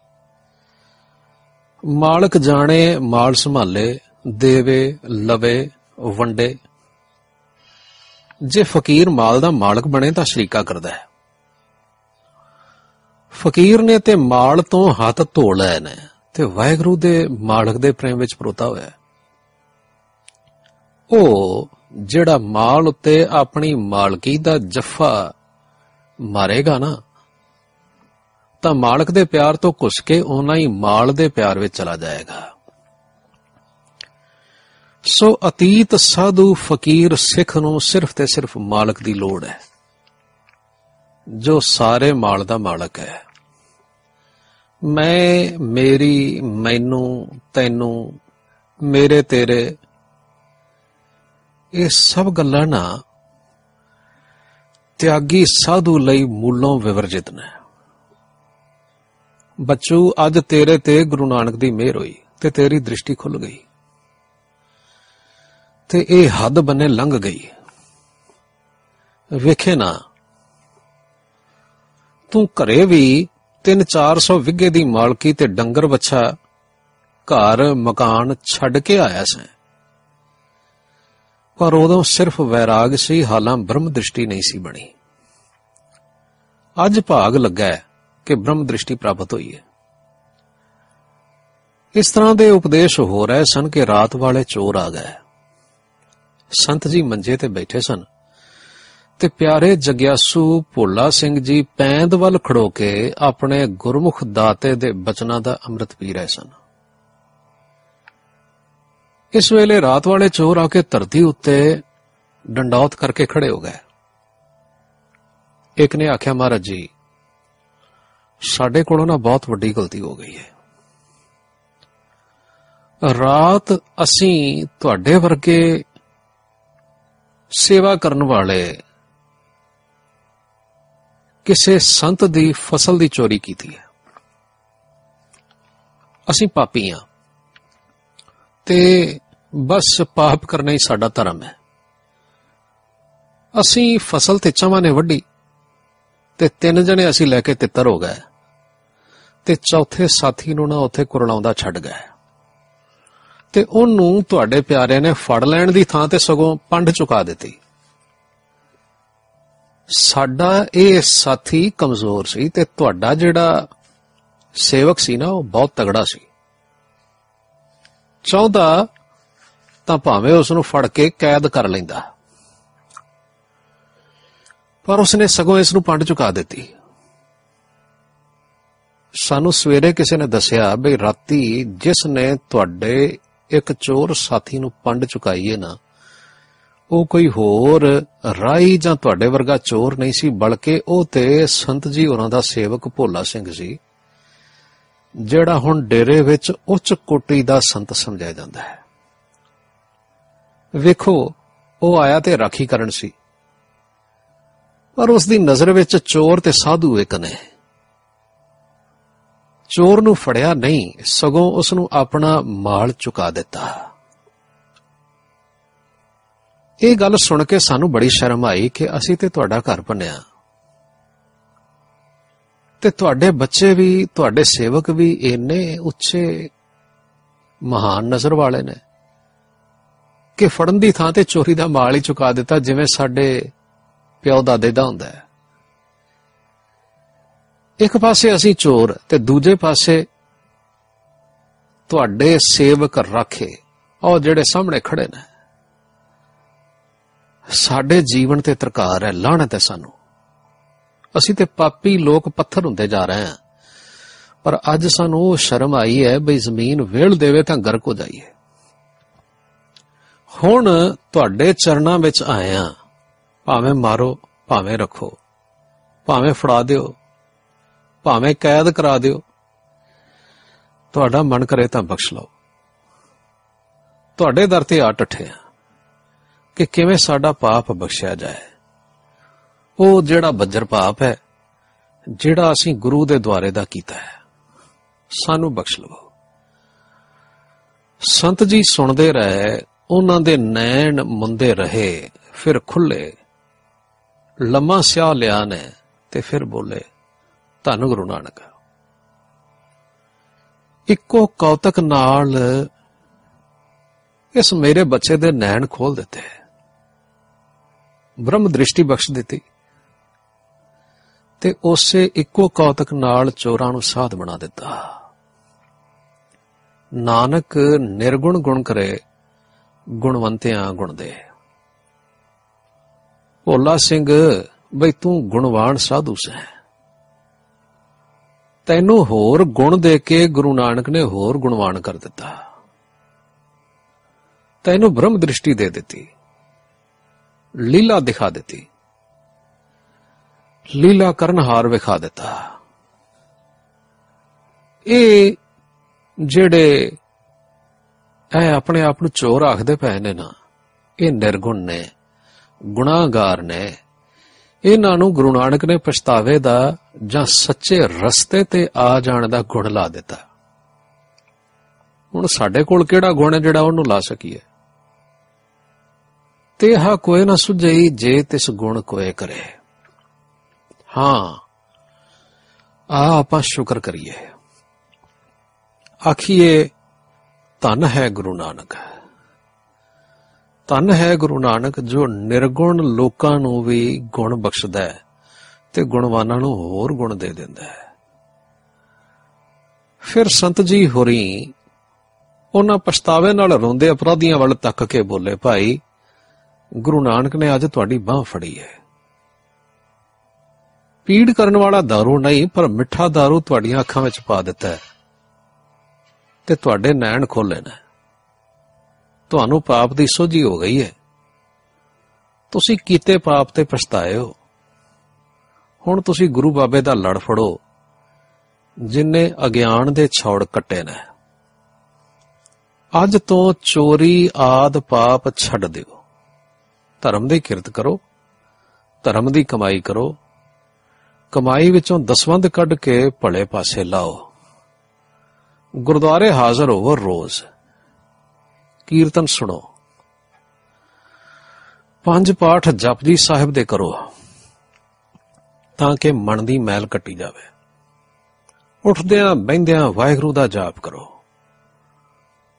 ਕੁਝ ਸਮੇਂ ਮਗਰੋਂ ਆਇਓ, ਫਿਰ ਗੁਰੂ ਦਸਵੇਂ ਪਾਤਸ਼ਾਹ ਦਾ ਅੰਮ੍ਰਿਤ ਛਕ ਨਾਲ ਜਹਾਜ਼ੇ ਚੜ ਜਾਣਾ। ਉਦੋਂ ਤੱਕ ਤੁਸੀਂ ਚੋਖੇ ਨਿਰਮਲ ਹੋ ਜਾਓਗੇ। ਚਮਾ ਪਛਤਾਪ ਕਰਨ ਵਾਲਿਆਂ ਨੇ ਮੱਥਾ ਟੇਕਿਆ। ਪਰ ਸੰਤ ਜੀ ਹੋਰੀ ਛੇਤੀ ਨਾਲ ਉੱਠ ਖਲੋਤੇ ਤੇ ਚਵਾਂ ਨੂੰ ਬਾਹੋਂ ਫੜ ਕੇ ਸ੍ਰੀ ਗੁਰੂ ਗ੍ਰੰਥ ਸਾਹਿਬ ਜੀ ਮਹਾਰਾਜ ਦੇ ਹਜ਼ੂਰ ਜਾ ਕੇ ਮੱਥਾ ਟਿਕਾਇਆ ਤੇ ਆਖਿਆ, ਭਾਈ, ਇਹ ਹੈ ਜਾਗਦੀ ਜੋਤ ਗੁਰੂ। ਦਸਾਂ ਗੁਰਾਂ ਦਾ ਰੂਪ। ਇਸ ਨੂੰ ਮੱਥਾ ਟੇਕੋ ਤੇ ਆਖੋ, ਇਸ ਦਾ ਪਾਠ ਕਰਾਂਗੇ, ਵਿਚਾਰਾਂਗੇ, ਕੀਰਤਨ ਸੁਣਾਂਗੇ ਤੇ ਅਮਲ ਕਰਾਂਗੇ।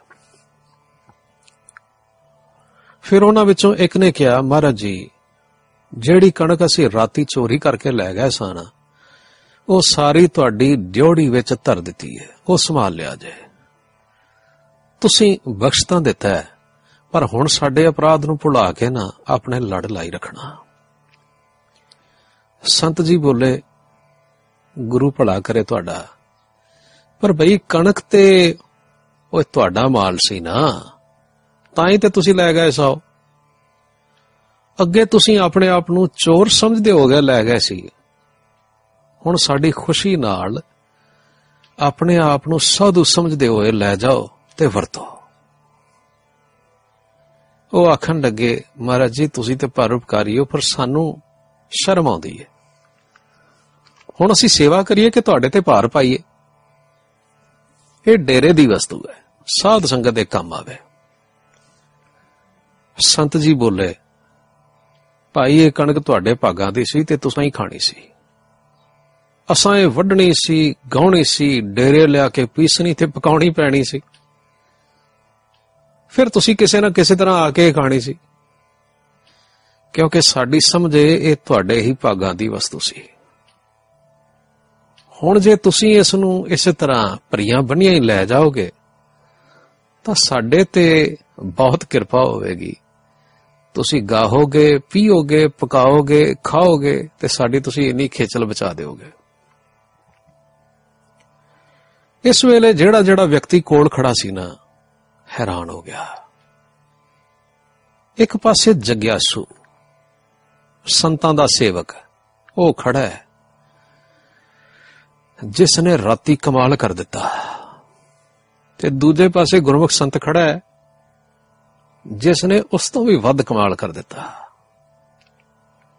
ਦੋਹਾਂ ਨੇ ਮੈਂ ਅਤੇ ਮੇਰੀ ਮੇਰ ਤੇਰ ਮੈਨੂੰ ਤੈਨੂੰ ਤੇ ਕਿੱਡੀ ਮਹਾਨ ਫਤਿਹ ਪਾਈ ਹੋਈ ਹੈ ਸੰਤ ਜੀ ਸਭ ਦੇ ਦਿਲਾਂ ਦੀਆਂ ਜਾਣਨ ਪਿਆਰ ਨਾਲ ਬੋਲੇ, ਸਾਧ ਸੰਗਤ ਜੀ, ਸਭ ਗੁਣ ਤੇਰੇ, ਮੈਂ ਨਾ ਹੀ ਕੋਏ। ਤੱਕੋ ਸਾਹਮਣੇ ਬਿਰਾਜਮਾਨ ਸ੍ਰੀ ਗੁਰੂ ਗ੍ਰੰਥ ਸਾਹਿਬ ਜੀ ਵੱਲ। ਇਹ ਜਾਗਤ ਜੋਤ ਗੁਰੂ ਦੀ ਕਲਾ ਵਰਤ ਰਹੀ ਹੈ। ਇਸ ਦੀ ਸਿੱਖਿਆ ਪੜੋ ਸੁਣੋ, ਵਰਤੋ, ਸਭ ਦੇ ਵੇੜੇ ਪਾਰ ਹੋਣਗੇ। ਉਹ ਚਾਰੇ ਚੋਰ ਜ਼ੋਰ ਲਾ ਹਟੇ ਕਿ ਸੰਤ ਜੀ ਕਣਕ ਰੱਖ ਲੈਣ, ਪਰ ਸੰਤ ਨਾ ਮੰਨੇ। ਤੇ ਅਖੀਰੇ ਕਹਿ ਕੇ ਕਣਕ ਬਖਸ਼ ਦਿੱਤੀ, ਬਈ ਸਾਡੀ ਖੁਸ਼ੀ ਸਮਝ ਕੇ ਲੈ ਜਾਓ। ਜੇ ਨਾ ਲਿਜਾਓਗੇ ਨਾ, ਤਾਂ ਅਸੀਂ ਸਮਝਾਂਗੇ ਬਈ ਤੁਸੀਂ ਸਾਡੀ ਖੁਸ਼ੀ ਦੇ ਨਾਲ ਖੁਸ਼ ਨਹੀਂ ਹੈਗੇ। ਸੋ ਸੱਜਣੋ, ਮੈਂ ਤੁਹਾਨੂੰ ਦੱਸਦਾ ਕਿ ਇਹ ਜਿਹੜੇ ਚਾਰੇ ਚੋਰ ਬਣ ਕੇ ਆਏ ਸਨ, ਇੱਕ ਅਤੀਤ ਸਾਧੂ ਦੀ ਚੋਰੀ ਕਰਕੇ ਸਾਧੂ ਹੋ ਗਏ।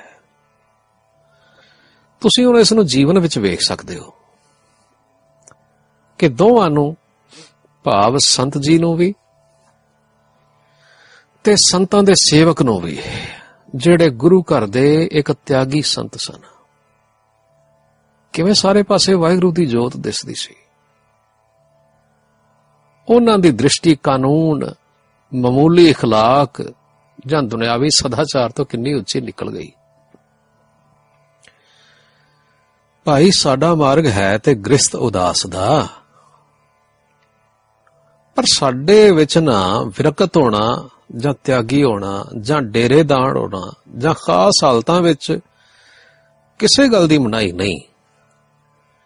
ਪਰ ਤਿਆਗੀਆਂ ਜਾਂ ਵਿਰਕਤਾਂ ਲਈ ਆਦਰਸ਼ ਬੜਾ ਉੱਚਾ ਹੈ। ਜੋ ਉਸ ਉੱਚੀ ਅਵਸਥਾ ਨੂੰ ਨਹੀਂ ਅਪੜਦੇ ਉਹ ਨਾ ਤੇ ਆਪਣਾ ਜੀਵਨ ਸਫਲ ਕਰ ਸਕਦੇ ਨੇ, ਨਾ ਉਹਨਾਂ ਦੇ ਉਪਦੇਸ਼ ਤੋਂ ਜਗਤ ਨੂੰ ਹੀ ਸੁਖ ਹੁੰਦਾ ਹੈ।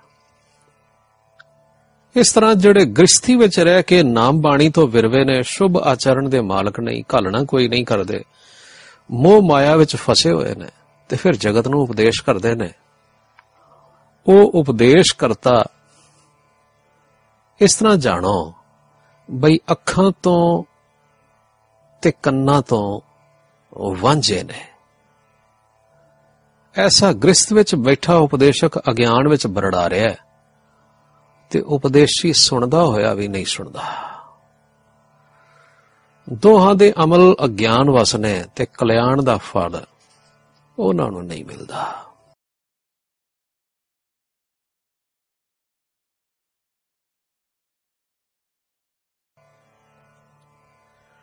ਸਤਿਗੁਰੂ, ਸ੍ਰੀ ਗੁਰੂ ਗ੍ਰੰਥ ਸਾਹਿਬ ਜੀ ਦਾ ਸੋਹਣਾ ਦਰਬਾਰ ਸਜ ਰਿਹਾ ਹੈ। ਰਾਗੀ ਸਿੰਘ ਆਸਾ ਦੀ ਵਾਰ ਦਾ ਕੀਰਤਨ ਕਰ ਰਹੇ ਨੇ। ਚਿਮ ਚਿਮ ਅੰਮ੍ਰਿਤ ਵਰਸ ਰਿਹਾ ਹੈ। ਅੰਮ੍ਰਿਤ ਵੇਲੇ ਦਾ ਸੁਹਾਵਣਾ ਸਮਾਂ ਹੈ।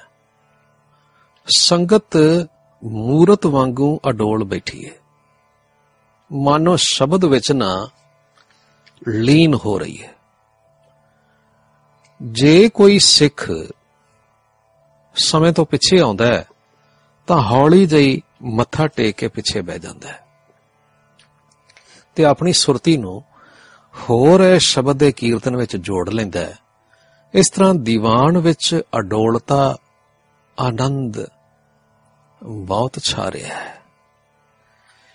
ਅਸਾ ਦੀ ਵਾਰ ਦਾ ਭੋਗ ਪਿਆ, ਤਾਂ ਹੁਣ ਸਾਰੀ ਸੰਗਤ ਨੇ ਬਾਬਾ ਬਿਮਲਾ ਸਿੰਘ ਜੀ ਹੋਰਾਂ ਨੂੰ ਬੇਨਤੀ ਕੀਤੀ। ਬਾਬਾ ਜੀ, ਤੁਸੀਂ ਨਾ ਸੱਚੇ ਪਾਤਸ਼ਾਹ ਮਹਾਰਾਜ ਗੁਰੂ ਨਾਨਕ ਦੇਵ ਜੀ ਦੇ ਪਾਵਨ ਜੀਵਨ ਵਿੱਚੋਂ ਕੁਝ ਹੋਰ ਬਚਨ ਸੁਣਾ ਦਿਓ।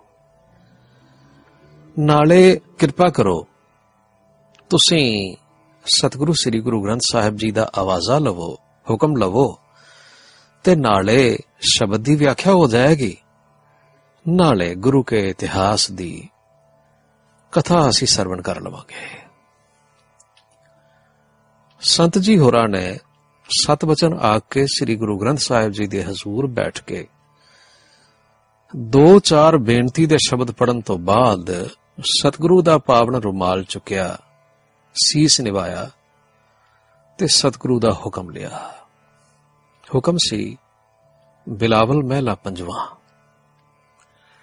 ਪਿੰਗਲ ਪਰਬਤ ਪਾਰ ਪਰੇ ਖਲ ਚਤੁਰ ਬਕੀਤਾ ਅੰਧੁਲੇ ਤ੍ਰਿਭਵਨ ਸੁਜਿਆ ਗੁਰ ਭੇਟ ਪੁਨੀਤਾ। ਮਹਿਮਾ ਸਾਧੂ ਸੰਗ ਕੀ ਸੁਣੋ ਮੇਰੇ ਮੀਤਾ। ਮੈਲ ਹੋਈ ਕੋਟ ਅਗਹਰੇ ਨਿਰਮਲ ਭੈ ਚੀਤਾ, ਰਹਾਓ। ਐਸੀ ਭਗਤ ਗੋਵਿੰਦ ਕੀ, ਕੀਟ ਹਸਤੀ ਜੀਤਾ। ਜੋ ਜੋ ਕੀਨੋ ਆਪਨੋ ਤਿਸ ਅਭੈ ਦਾਨ ਦੀਤਾ। ਸਿੰਘ ਬਿਲਾਈ ਹੋਏ ਗਇਓ ਤ੍ਰਿਣ ਮੇਰ ਦਿਖੀਤਾ। ਸ਼ਰਮ ਕਰਤੇ ਦਮ ਆ ਆਡਕਾਓ ਤੇ ਗਣੀ ਧਣੀਤਾ। ਕਵਨ ਵਡਾਈ ਕਹਿ ਸਕਉ ਬੇਅੰਤ ਗੁਣੀਤਾ। ਕਰ ਕਿਰਪਾ ਮੋਹੇ ਨਾਮ ਦੇਹੋ, ਨਾਨਕ ਦਰ ਸਰੀਤਾ। ਬੜੀ ਮਧੁਰ ਆਵਾਜ਼ ਵਿੱਚ ਸੰਤ ਜੀ ਹੋਰਾਂ ਨੇ ਸਤਿਗੁਰੂ ਦਾ ਪਾਵਨ ਬਚਨ ਪੜਿਆ ਅਰਥ ਬੜੇ ਪਿਆਰ ਨਾਲ ਸਪਸ਼ਟ ਤੇ ਸ਼ੁੱਧ ਵਾਚੇ। ਫਿਰ ਉਹਨਾਂ ਨੇ ਕਥਾ ਪ੍ਰਾਰੰਭ ਕੀਤੀ। ਗੁਰੂ ਕੇ ਪਿਆਰਿਓ ਰਹਾਉ ਦੀ ਤੁਕ ਵਿੱਚ ਸਾਰੇ ਸ਼ਬਦ ਦਾ ਕੇਂਦਰੀ ਭਾਵ ਹੁੰਦਾ ਹੈ। ਗਾਇਨ ਵਿੱਚ ਇਸੇ ਲਈ ਰਹਾਉ ਦੀ ਤੁਕ ਬਾਰ-ਬਾਰ ਗਾਈ ਤੇ ਦੁਹਰਾਈ ਜਾਂਦੀ ਹੈ। ਤੇ ਅਰਥ ਭਾਵ ਵਿੱਚ ਮੁੱਖ ਮੰਤਵ ਸਾਰੇ ਸ਼ਬਦ ਦਾ ਰਹਾਉ ਵਿੱਚ ਹੁੰਦਾ ਹੈ। ਜਿਸ ਨੂੰ ਸਮਝ ਲੈਣ ਨਾਲ ਸਾਰੇ ਸ਼ਬਦ ਦੇ ਆਸ਼ੇ ਦੀ ਦ੍ਰਿੜਤਾ ਹੋ ਜਾਂਦੀ ਹੈ। ਅੱਜ ਗੁਰੂ ਨਾਨਕ ਦੇਵ ਜੀ ਦਾ ਗੁਰਪੁਰਬ ਹੈ। ਉਹ ਭਾਗ ਭਰਿਆ ਦਿਹਾੜਾ ਹੈ। ਜਿਸ ਦਿਨ ਇਸ ਸ੍ਰਿਸ਼ਟੀ ਨੂੰ ਨਵੀਂ ਸਿੱਖਿਆ ਦੇਣ ਵਾਲੇ ਨੂਰੀ ਗੁਰੂ ਨਾਨਕ ਦਾ ਪ੍ਰਕਾਸ਼ ਹੋਇਆ। ਜਿਸ ਨੇ ਗ੍ਰਸਥੀ ਵਰਗੇ ਮੋਹ ਵਾਲੇ ਮਾਰਗ ਵਿੱਚ ਵੀ ਕਲਿਆਣ ਦਾ ਚਾਨਣਾ ਪਾ ਦਿੱਤਾ। ਜਿਸ ਨੇ ਕੁਸੰਗ ਤੋਂ ਬਚਣ ਦੇ ਲਈ ਸੰਗ ਦਾ ਤਿਆਗ ਤੇ ਨਹੀਂ ਸਿਖਾਇਆ, ਪਰ ਸਤ ਸੰਗ ਪੈਦਾ ਕਰਕੇ ਉਸ ਵਿੱਚ ਲਾ ਕੇ ਜੀਵਾਂ ਨੂੰ ਕੁਸੰਗ ਤੋਂ ਬਚਾ ਦਿੱਤਾ। ਜਿਸ ਨੇ ਜੰਗਲਾਂ ਦਾ ਵਾਸਾ, ਤੀਰਥਾਂ ਦੇ ਘੁੰਮਣ ਦਾ ਥਕੇਵਾਂ ਦੂਰ ਕੀਤਾ ਤੇ ਗ੍ਰਸਥੀ ਉਦਾਸ ਮਾਰਗ ਤੋਰ ਦਿੱਤਾ। ਜਿਵੇਂ ਕਿ ਸਤਿਗੁਰੂ ਦਾ ਵਾਕ ਹੈ। ਵਿਚੇ ਗ੍ਰਹਿ ਸਦਾ ਰਹੇ ਉਦਾਸੀ, ਜਿਉ ਕਮਲ ਰਹੇ ਵਿੱਚ ਪਾਣੀ ਹੈ। ਸੰਗਤ ਜੀ, ਅੱਜ ਸਤਿਗੁਰੂ ਦਾ ਅਵਤਾਰ ਦਿਹਾੜਾ ਹੈ। ਅੱਜ ਦੇ ਬਾਰੇ ਵਿੱਚ ਭਾਈ ਗੁਰਦਾਸ ਜੀ ਨੇ ਆਖਿਆ, ਸਤਿਗੁਰੂ ਨਾਨਕ ਪ੍ਰਗਟਿਆ, ਮਿੱਟੀ ਧੁੰਦ ਜਗ ਚਾਨਣ ਹੋਆ। ਜਿਉ ਕਰ ਸੂਰਜ ਨਿਕਲਿਆ, ਤਾਰੇ ਛਪੇ ਅੰਧੇਰ ਪਲੋਆ ਸਿੰਘ ਬੁਕੇ, ਮਿਰਗਾਵਲੀ ਭੰਨੀ ਜਾਏ, ਨਾ ਧੀਰ ਤਰੋਆ ਜਿੱਥੇ ਬਾਬਾ ਪੈਰ ਧਰੇ, ਪੂਜਾ ਆਸਣ ਥਾਪਣ ਸੋਆ। ਸਿੱਧ ਆਸਨ ਸਭ ਜਗਤ ਦੇ ਨਾਨਕ ਆਦ ਮੱਤੇ ਜੇ ਕੋਆ। ਘਰ ਘਰ ਅੰਦਰ ਧਰਮਸਾਲ ਹੋਵੇ, ਕੀਰਤਨ ਸਦਾ ਵਸੋਆ। ਬਾਬੇ ਤਾਰੇ ਚਾਰ ਚੱਕ, ਨੌ ਖੰਡ ਪ੍ਰithvi ਸੱਚਾ ਢੋਆ। ਗੁਰਮੁਖ ਕਲ ਵਿੱਚ ਪ੍ਰਗਟ ਹੋਆ। ਅੱਜ ਜਿਹੜਾ ਹੁਕਮ ਸਤਿਗੁਰੂ ਨੇ ਬਖਸ਼ਿਆ, ਉਸ ਵਿੱਚ ਇੱਕ ਖਾਸ ਗੱਲ ਗੁਰੂ ਨੇ ਸਮਝਾਈ, ਉਹ ਹੈ ਸਤ ਸੰਗ ਜਿਵੇਂ ਆਪਾਂ ਪਹਿਲਾਂ ਵਿਚਾਰਿਆ ਸੀ ਨਾ, ਬਈ ਪੁਰਾਣੇ ਲੋਕ ਜਗਤ ਰੂਪ ਨਰਕ ਤੋਂ ਬਚਣ ਦੇ ਲਈ ਉਪਰਾਲਾ ਕਰਦੇ ਸਨ। ਬਈ ਘਰ-ਬਾਰ ਛੱਡ ਕੇ ਜੰਗਲਾਂ ਵਿੱਚ ਜਾ ਕੇ ਤਪ ਕਰੀਏ। ਮਨੁੱਖ ਮਨੁੱਖ ਦੇ ਸੰਗ ਦਾ ਤਿਆਗ ਕਰਕੇ ਅਸੰਗੀ ਹੁੰਦਾ ਹੈ। ਗੁਰੂ ਬਾਬੇ ਨੇ ਕਿਹਾ, ਕੁਸੰਗ ਤੋਂ ਬਚਣ ਲਈ ਮਨੁੱਖਾਂ ਤੋਂ ਅਸੰਗ ਹੋਣਾ ਜ਼ਰੂਰੀ ਨਹੀਂ। ਸਗੋਂ ਜਗਤ ਤੋਂ, ਪਿਆਰੇ ਸੰਬੰਧੀਆਂ ਤੋਂ ਹਿੱਤ ਵਾਲੇ ਮਿੱਤਰਾਂ ਤੋਂ ਅਸੰਗ ਹੋ ਕੇ ਬਣਾ ਜਾਂ ਪਰਬਤਾਂ ਵਿੱਚ ਨਾ ਜਾਓ, ਸੰਗ ਵਿੱਚ ਰਹੋ, ਪਰ ਕੁਸੰਗ ਦਾ ਤਿਆਗ ਕਰੋ ਤੇ ਸਤ ਸੰਗ ਦੀ ਓਟ ਲਵੋ। ਇਸ ਸਤ ਸੰਗ ਦੇ ਆਸਰੇ ਹੋ ਕੇ ਸੰਗ ਵਿੱਚ ਵਸੋ, ਬਣਾ ਵਿੱਚ ਅਸੰਗ ਨਾ ਢੂੰਡੋ। ਅੱਜ ਜਿਹੜਾ ਵਾਕ ਮਹਾਰਾਜ ਨੇ ਬਖਸ਼ਿਆ ਨਾ, ਉਸ ਵਿੱਚ ਸਤ ਸੰਗ ਦੀ ਮਹਿਮਾ ਹੈ। ਸਤਿਗੁਰੂ ਜੀ ਆਖਦੇ ਨੇ ਭਾਈ, ਸਾਧੂ ਦੇ ਸੰਗਤ ਦੀ ਮਹਿਮਾ ਸੁਣੋ, ਇਸ ਨਾਲ ਮਨ ਦੀ ਮੈਲ ਉਤਰਦੀ ਏ ਪਾਪ ਲੱਥ ਜਾਂਦੇ ਨੇ ਤੇ ਚਿੱਤ ਸਾਰਾ ਨਿਰਮਲ ਹੋ ਜਾਂਦਾ ਹੈ। ਕੁਝ ਇਸ ਤਰ੍ਹਾਂ ਕਿ ਸਾਧੂ ਦਾ ਸੰਗ ਪਾਪ ਕਰਮਾਂ ਤੋਂ ਛੁਡਾ ਲੈਂਦਾ ਹੈ। ਇਸ ਤਰ੍ਹਾਂ ਮਨ ਤੇ ਮੈਲ ਪੈਣੀ ਰੁਕ ਜਾਂਦੀ ਹੈ। ਪਰਮੇਸ਼ਰ ਦੀ ਸਿਫਤ ਸਲਾਹ ਵਿੱਚ ਲਾ ਦਿੰਦਾ ਹੈ, ਜਿਸ ਨਾਲ ਅੰਦਰ ਦੀ ਮੈਲ ਸਗੋਂ ਖਤਮ ਹੋਣੀ ਸ਼ੁਰੂ ਹੋ ਜਾਂਦੀ ਹੈ। ਜਿਵੇਂ ਸ੍ਰੀ ਗੁਰੂ ਗ੍ਰੰਥ ਸਾਹਿਬ ਜੀ ਦੇ ਵਾਕ ਨੇ, ਗੁਣ ਗਾਵਤ ਤੇਰੀ ਉਤਰਸ ਮੈਲ ਫਿਰ ਸਾਧੂ ਦੇ ਸੰਗ ਵਿੱਚ ਨਾ ਵਾਹਿਗੁਰੂ ਦੇ ਨਾਮ ਦੀ ਪ੍ਰੀਤ ਵੱਧਦੀ ਹੈ, ਜਿਸ ਨਾਲ ਮਨ ਦਾ ਖਿੰਡਾਓ ਦੂਰ ਹੁੰਦਾ ਹੈ, ਇਕਾਗਰਤਾ ਵੱਧਦੀ ਹੈ, ਜਿਸ ਨਾਲ ਜਨਮ ਜਨਮ ਦੇ ਪਾਪ ਨਿਵਰਤ ਹੋ ਜਾਂਦੇ ਨੇ। ਪਾਪ ਇਸ ਤਰ੍ਹਾਂ ਨਿਵਰਤ ਹੁੰਦੇ ਨੇ ਕਿ ਨਾਮ ਅਭਿਆਸ ਨਾਲ ਮਨ ਵਾਹਿਗੁਰੂ ਵੱਲ ਤੁਰਦਾ ਹੈ। ਉਸ ਦੇ ਪਿਆਰ ਦੇ ਸੰਸਕਾਰ ਅੰਦਰ ਡੂੰਘੇ ਲੈ ਜਾਂਦੇ ਨੇ, ਜਿੱਥੇ ਕਿ ਕੀਤੇ ਹੋਏ ਪਾਪਾਂ ਦੇ ਸੰਸਕਾਰ ਪਏ ਹੁੰਦੇ ਨੇ। ਸਾਧ ਸੰਗਤ ਜੀ, ਹੁਣ ਤੇ ਪੱਛਮੀ ਵਿਗਿਆਨਕਾਂ ਨੂੰ ਵੀ ਸਮਝ ਆ ਗਈ ਏ ਕਿ ਮਨੁੱਖ ਦਾ ਮਨ ਜੋ ਸੋਚਦਾ ਹੈ, ਵਿਚਾਰਦਾ ਹੈ, ਕੰਮ ਕਰਦਾ ਹੈ ਨਾ, ਇਹ ਸਗਿਆਤ ਮਨ ਹੈ।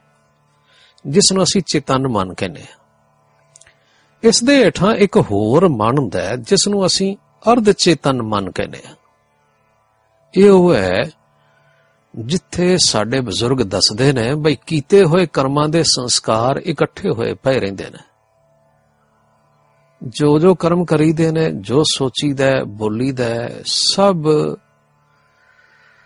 ਕਰਮਾਂ ਦੇ ਨਿਸ਼ਾਨ ਅੰਦਰ ਲੈ ਜਾਂਦੇ ਨੇ। ਡੂੰਘੇ ਥਾਂ ਮਨ ਵਿੱਚ ਵਸ ਜਾਂਦੇ ਨੇ। ਜਦੋਂ ਨਾਮ ਜਪੀਦਾ ਨਾ, ਤਾਂ ਪਾਪਾਂ ਦੇ ਸੰਸਕਾਰ ਉਥੋਂ ਸੜ ਜਾਂਦੇ ਨੇ।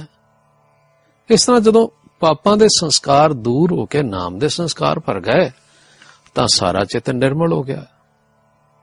ਇਸੇ ਕਰਕੇ ਸਤਿਗੁਰੂ ਨੇ ਇਸ ਤੁਕ ਵਿੱਚ ਸਾਰੀ ਗੱਲ ਸਮਝਾਈ ਹੈ ਕਿ ਨਾਮ ਨਾਲ ਪਹਿਲੋਂ ਚੇਤਨ ਮਨ ਦੀ ਮੈਲ ਉਤਰਨੀ ਸ਼ੁਰੂ ਹੋਵੇਗੀ।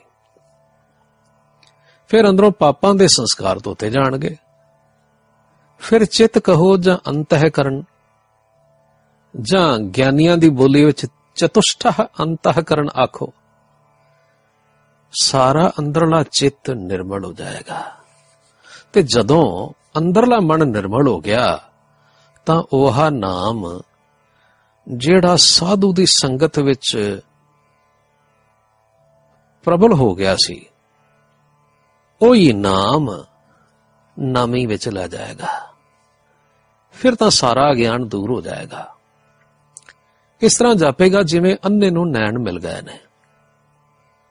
ਆਮ ਹਾਲਤਾਂ ਵਿੱਚ ਤਾਂ ਜੀਵ ਦੀ ਬੁੱਧੀ ਨੂੰ ਅਨੇਕਾਂ ਸ਼ੱਕ, ਸ਼ੰਕੇ ਵਿਆਪ ਰਹੇ ਨੇ।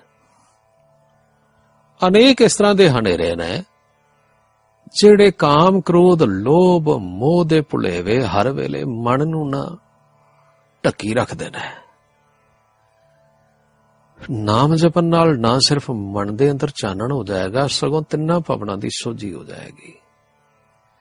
ਗੁਰੂ ਜੀ ਕਹਿੰਦੇ ਨੇ ਅੰਦੇ ਇਹ ਨਾ ਆਖੀਨ ਜਿਨ ਮੁਖ ਲੋਇਣ ਨਾ ਹੈ ਅੰਦੇ ਸਈ ਨਾਨਕਾ ਖਸਮੋ ਕੁੱਥੇ ਜਾਹੇ। ਸੋ ਐਸੇ ਅੰਨੇ ਅਨੇਕਾਂ ਸਤ ਸੰਗ ਦੇ ਨਾਮ ਨਾਲ ਨਿਰਮਲ ਕਰ ਦਿੱਤੇ, ਸੁਜਾਖੇ ਬਣਾ ਦਿੱਤੇ, ਜਿਹੜੇ ਵਾਹਿਗੁਰੂ ਨੂੰ ਜਾ ਮਿਲੇ। ਵੇਖੋ ਨਾ, ਸ੍ਰੀ ਗੁਰੂ ਨਾਨਕ ਦੇਵ ਜੀ ਨੇ ਅਤ ਦੇ ਕੰਗਾਲ, ਗਰੀਬ, ਭਾਈ ਲਾਲੋ ਦੇ ਨੈਣ ਖੋਲ ਕੇ ਉਸ ਨੂੰ ਸਾਈ ਨਾਲ ਮਿਲਾ ਦਿੱਤਾ ਤੇ ਉਹ ਸਤ ਸੰਗ ਦਾ ਟਿਕਾਣਾ ਬਣ ਗਿਆ। ਇਸੇ ਤਰ੍ਹਾਂ ਰਾਜਾ ਰਾਏ ਬੁਲਾਰ ਨੂੰ ਸਾਈਂ ਦੀ ਸੋਝੀ ਬਖਸ਼ੀ। ਸੰਗਤ ਜੀ, ਸ੍ਰੀ ਗੁਰੂ ਨਾਨਕ ਦੇਵ ਜੀ ਨੇ ਇੱਕ ਮਨਸੁਖ ਨਾਮੀ ਵਪਾਰੀ ਦੇ ਨੈਣ ਖੋਲੇ ਉਸ ਨੂੰ ਸਾਈਂ ਦੀ ਸੋਝੀ ਦਿੱਤੀ। ਉਹ ਮਨਸੁਖ ਮਨ ਦਾ ਸੁਖੀ ਜਾਂ ਗੁਰਮੁਖ ਹੋ ਗਿਆ।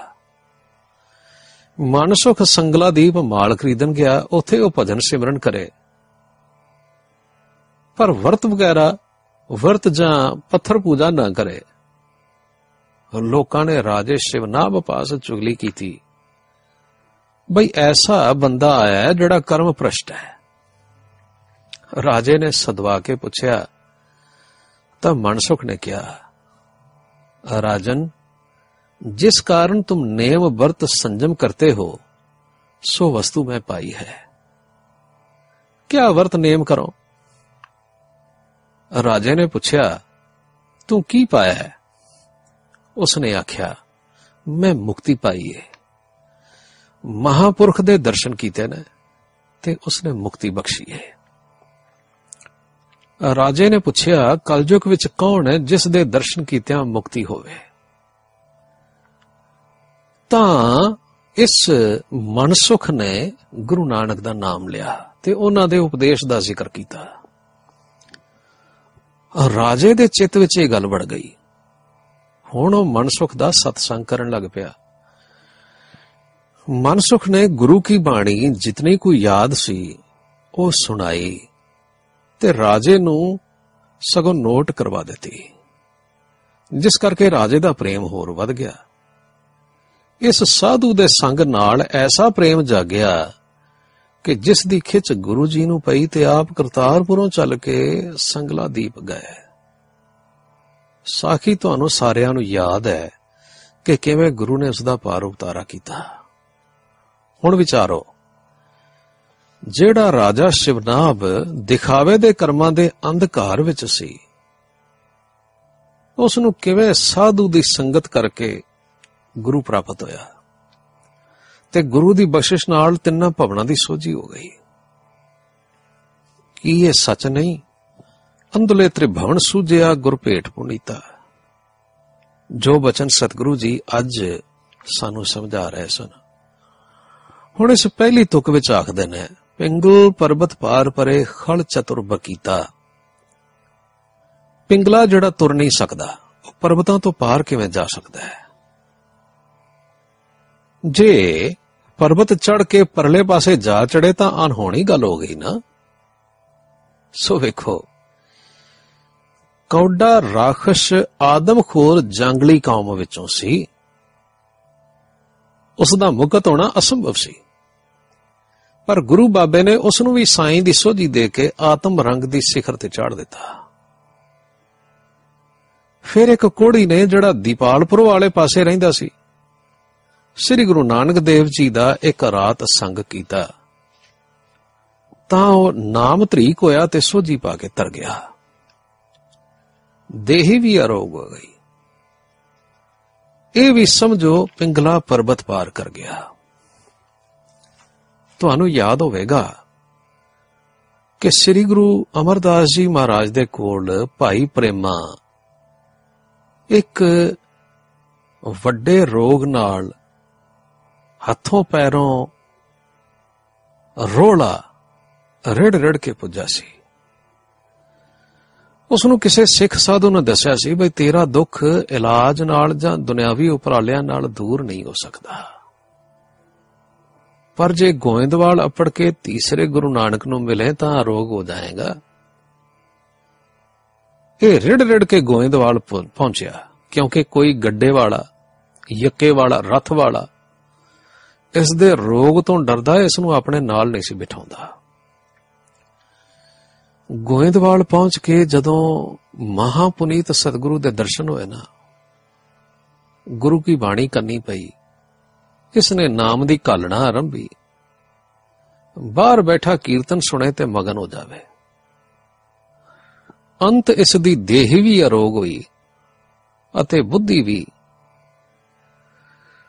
ਵਾਹਿਗੁਰੂ ਵੱਲ ਲੱਗ ਗਈ। ਗੁਰਮੁਖ ਹੋ ਗਿਆ, ਮੰਜੀ ਮਿਲੀ। ਜਿਸ ਮਹਾਨ ਪੁਰਖ ਪਾਰਗ੍ਰਾਮੀ ਦੀ ਨਾਦੀ ਬਿੰਦੀ ਦੋਵੇਂ ਗਦੀਆਂ ਹੁਣ ਤੱਕ ਸਨਮਾਨ ਨਾਲ ਚੱਲ ਰਹੀਆਂ ਨੇ। ਸੋ ਭਾਈ ਗੁਰਮੁਖੋ ਗੁਰਸਿੱਖੋ, ਪਿੰਗਲ ਪਰਬਤ ਪਾਰ ਪਰੇ ਇਹ ਗੱਲ ਤੇ ਗੁਰੂ ਜੀ ਨੇ ਦੱਸੀ ਹੀ ਨਹੀਂ, ਅਨੇਕਾਂ ਵਾਰ ਕਰਕੇ ਵਿਖਾ ਦਿੱਤੀ। ਸਾਡੇ ਸਾਰਿਆਂ ਦੀ ਮਤ ਪਿੰਗਲੀ ਹੈ। ਇਹ ਦਿਸਦੇ ਜਗਤ ਨੂੰ ਵੇਖਦੀ ਤੇ ਪਰਖਦੀ ਹੈ ਤੇ ਅਣਦਿਸਦੇ ਨੂੰ ਸਮਝਣੋ ਇਹ ਪਿੰਗਲੀ ਹੈ। ਇਸ ਦਾ ਅਣਦਿਸਦੇ ਪਰਮਾਤਮਾ ਨੂੰ ਸਮਝ ਲੈਣਾ, ਅਨੁਭਵ ਕਰਨਾ ਇਹ ਪਿੰਗਲੇ ਦੇ ਪਰਬਤ ਚੜ ਸਕਣ ਵਾਂਗ ਕਠਨ ਹੈ। ਪਰ ਜੇ ਸਤ ਸੰਗ ਕਰੇ ਤੇ ਪਾਪ ਤਿਆਗੇ, ਨਾਮ ਜਪੇ ਤਾਂ ਮੈਲ ਦੂਰ ਹੋ ਕੇ ਅੰਦਰਲੀ ਸੋਝੀ ਖੁੱਲ ਜਾਂਦੀ ਹੈ ਜਿਸ ਨਾਲ ਫਿਰ ਇਹ ਦਿਸਨਹਾਰ ਜਗਤ ਦੇ ਮੋਹ ਰੂਪ ਪਰਬਤਾਂ ਨੂੰ ਲੰਘ ਕੇ ਆਤਮ ਅਨੁਭਵ ਵਿੱਚ ਪਹੁੰਚ ਜਾਂਦੀ ਹੈ ਇਹ ਹੈ ਸਾਡੇ ਸਾਰਿਆਂ ਦੀ ਪਿੰਗਲੀ ਮਤ ਲਈ ਮੋਹ ਮਾਇਆ ਦੇ ਪਰਬਤਾਂ ਨੂੰ ਲੰਘ ਕੇ ਆਤਮ ਦੇਸ਼ ਆਪਣਨ ਦਾ ਉਪਦੇਸ਼, ਜੋ ਗੁਰੂ ਜੀ ਨੇ ਸਾਨੂੰ ਸਾਰਿਆਂ ਨੂੰ ਦਿੱਤਾ ਹੈ। ਹੁਣ ਸੁਣੋ, ਬਈ ਖਾਲ ਚਤੁਰ ਬਕੀਤਾ ਕਿਵੇਂ ਹੋ ਸਕਦਾ ਹੈ? ਭਾਵ, ਕੋਈ ਮੂਰਖ ਮਹਾ ਮੂਰਖ ਚਤੁਰ ਵਕਤਾ ਹੁੰਦਾ ਹੈ। ਨਾਮ ਬਾਣੀ ਦੇ ਅਭਿਆਸ ਨਾਲ ਮੈਲ ਦੂਰ ਹੁੰਦੀ ਹੈ। ਮਨ ਦੀ ਤੇ ਮਤ ਦੀ ਤੇ ਬੁੱਧੀ ਉਜਲ ਹੋ ਜਾਂਦੀ ਹੈ। ਇਸ ਤਰ੍ਹਾਂ ਮੂਰਖ ਵੀ ਚਤਰ ਹੋ ਜਾਂਦਾ ਹੈ। ਪਰਾਇਆ ਧਨ ਤੇ ਪਰਾਈ ਹਿਸਤਰੀ ਇਹ ਲੁੱਟ ਲੈਣ ਵਿੱਚ ਤੇ ਚਾਤਰ ਸਾਰੇ ਕੋਈ ਹੋ ਸਕਦੇ ਨੇ। ਪਰ ਆਤਮ ਅਨੁਭਵ ਵਿੱਚ ਚਤੁਰ ਅਰਥਾਤ ਗਿਆਨਵਾਨ ਹੋਣਾ ਇਹ ਬੜਾ ਕਠਿਨ ਹੈ, ਜੋ ਇੱਥੇ ਦਰਸਾਇਆ ਹੈ।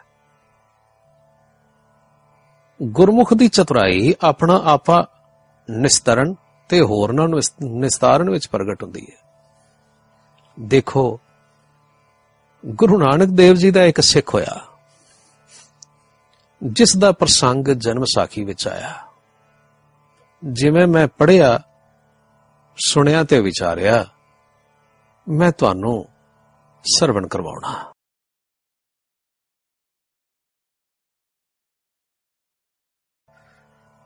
ਸ੍ਰੀ ਗੁਰੂ ਨਾਨਕ ਦੇਵ ਜੀ ਆਪਣੇ ਇੱਕ ਸਫ਼ਰ ਵਿੱਚ ਇੱਕ ਐਸੇ ਨਗਰ ਗਏ ਜਿੱਥੋਂ ਦੇ ਲੋਕ ਬੜੇ ਚਤਰ ਸਨ। ਕਾਰ ਵਿਹਾਰ ਬੜਾ ਚੰਗਾ ਸੀ, ਲੋਕੀ ਮਾਇਆਧਾਰੀ ਸਨ। ਹੁਣ ਮਾਇਆ ਧਾਰੀ ਹੰਕਾਰੀ ਨਾ ਹੋਵੇ, ਇਹ ਗੱਲ ਹੋ ਨਹੀਂ ਸਕਦੀ।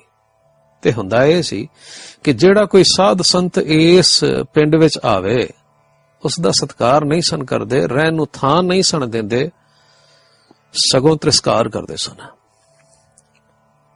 ਗੁਰੂ ਜੀ ਵੀ ਉੱਥੇ ਪਹੁੰਚੇ ਤਾਂ ਕਿਸੇ ਨੇ ਸਿਰ ਲੁਕਾਉਣ ਜੋਗਾ ਥਾਂ ਨਾ ਦਿੱਤਾ ਰੋਟੀ ਪਾਣੀ ਦਾ ਕਿਸ ਨੇ ਪੁੱਛਣਾ ਸੀ। ਆਪ ਜੀ ਬਾਹਰ ਜੰਗਲ ਵਿੱਚ ਹੀ ਇੱਕ ਦਰਖਤ ਦੇ ਥੱਲੇ ਬੈਠ ਗਏ।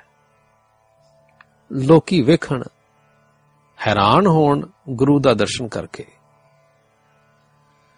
ਕੁਝ ਦੇ ਮਨ ਵਿੱਚ ਪ੍ਰੇਮ ਵੀ ਉਪਜੇ ਕਿ ਸੇਵਾ ਕਰੀਏ। ਪਰ ਮਨ ਦੀ ਚਤਰਾਈ ਆਖੇ, ਚੱਲੋ, ਇੱਥੇ ਖਲੋ ਕੇ ਸਮਾਂ ਨਾ ਗਵਾਓ ਕੀ ਕਰਨਾ ਹੈ? ਸਾਧਾਂ ਕੋਲ ਖੜ ਕੇ। ਜਿਹੜੇ ਰੋਟੀ ਵੀ ਨਹੀਂ ਕਮਾ ਸਕਦੇ। ਇਸੇ ਨਗਰ ਵਿੱਚ ਨਾ ਇੱਕ ਖੱਤਰੀ ਰਹਿੰਦਾ ਸੀ ਜਿਸ ਨੂੰ ਲੋਕ ਸੋਮਾ ਕਰਕੇ ਜਾਣਦੇ ਸਨ।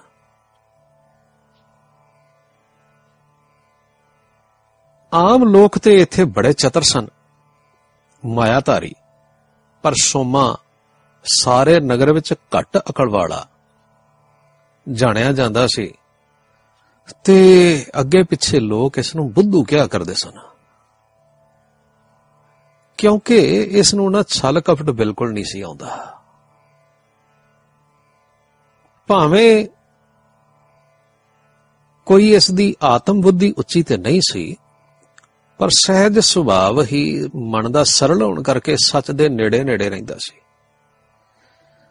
ਇਸ ਦੇ ਕੋਲ ਧਨ ਕੁਝ ਪਿਓ ਦਾਦੇ ਦਾ ਹੈ ਸੀ ਤੇ ਕੁਝ ਇਸ ਦੀ ਕਿਸਮਤ ਵੀ ਚੰਗੀ ਸੀ। ਸੋ ਚਾਰ ਪੈਸੇ ਇਸ ਦੇ ਕੋਲ ਹੈਗੇ ਸਨ। ਇਹ ਵੀ ਮਾਇਆ ਵਿੱਚ ਗਲਤਾਨ ਸੀ ਇਸੇ ਕਰਕੇ। ਜਿੱਥੇ ਗੁਰੂ ਨਾਨਕ ਦੇਵ ਜੀ ਬੈਠੇ ਸਨ, ਇਹ ਅਚਾਨਕ ਉਥੇ ਆ ਨਿਕਲਿਆ। ਜਦੋਂ ਕੋਲੋਂ ਲੰਘਿਆ, ਤਾਂ ਸਤਿਗੁਰੂ ਜੀ ਨੂੰ ਤੱਕਿਆ, ਮਨ ਵਿੱਚ ਖਿੱਚ ਜਈ ਪਈ। ਸਤਿਗੁਰੂ ਦਾ ਪਿਆਰ ਮਨ ਵਿੱਚ ਆਇਆ।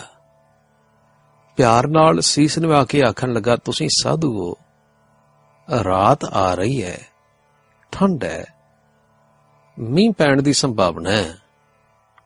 ਤੁਸੀਂ ਜੰਗਲ ਵਿੱਚ ਖੁੱਲੀ ਥਾਂ ਬੈਠੇ ਹੋ। ਠੰਡ ਲੱਗਦੀ ਹੋਵੇਗੀ। ਚਲੋ, ਮੇਰੇ ਘਰ ਰਹੋ। ਰਾਤ ਨੂੰ ਆਰਾਮ ਕਰੋ।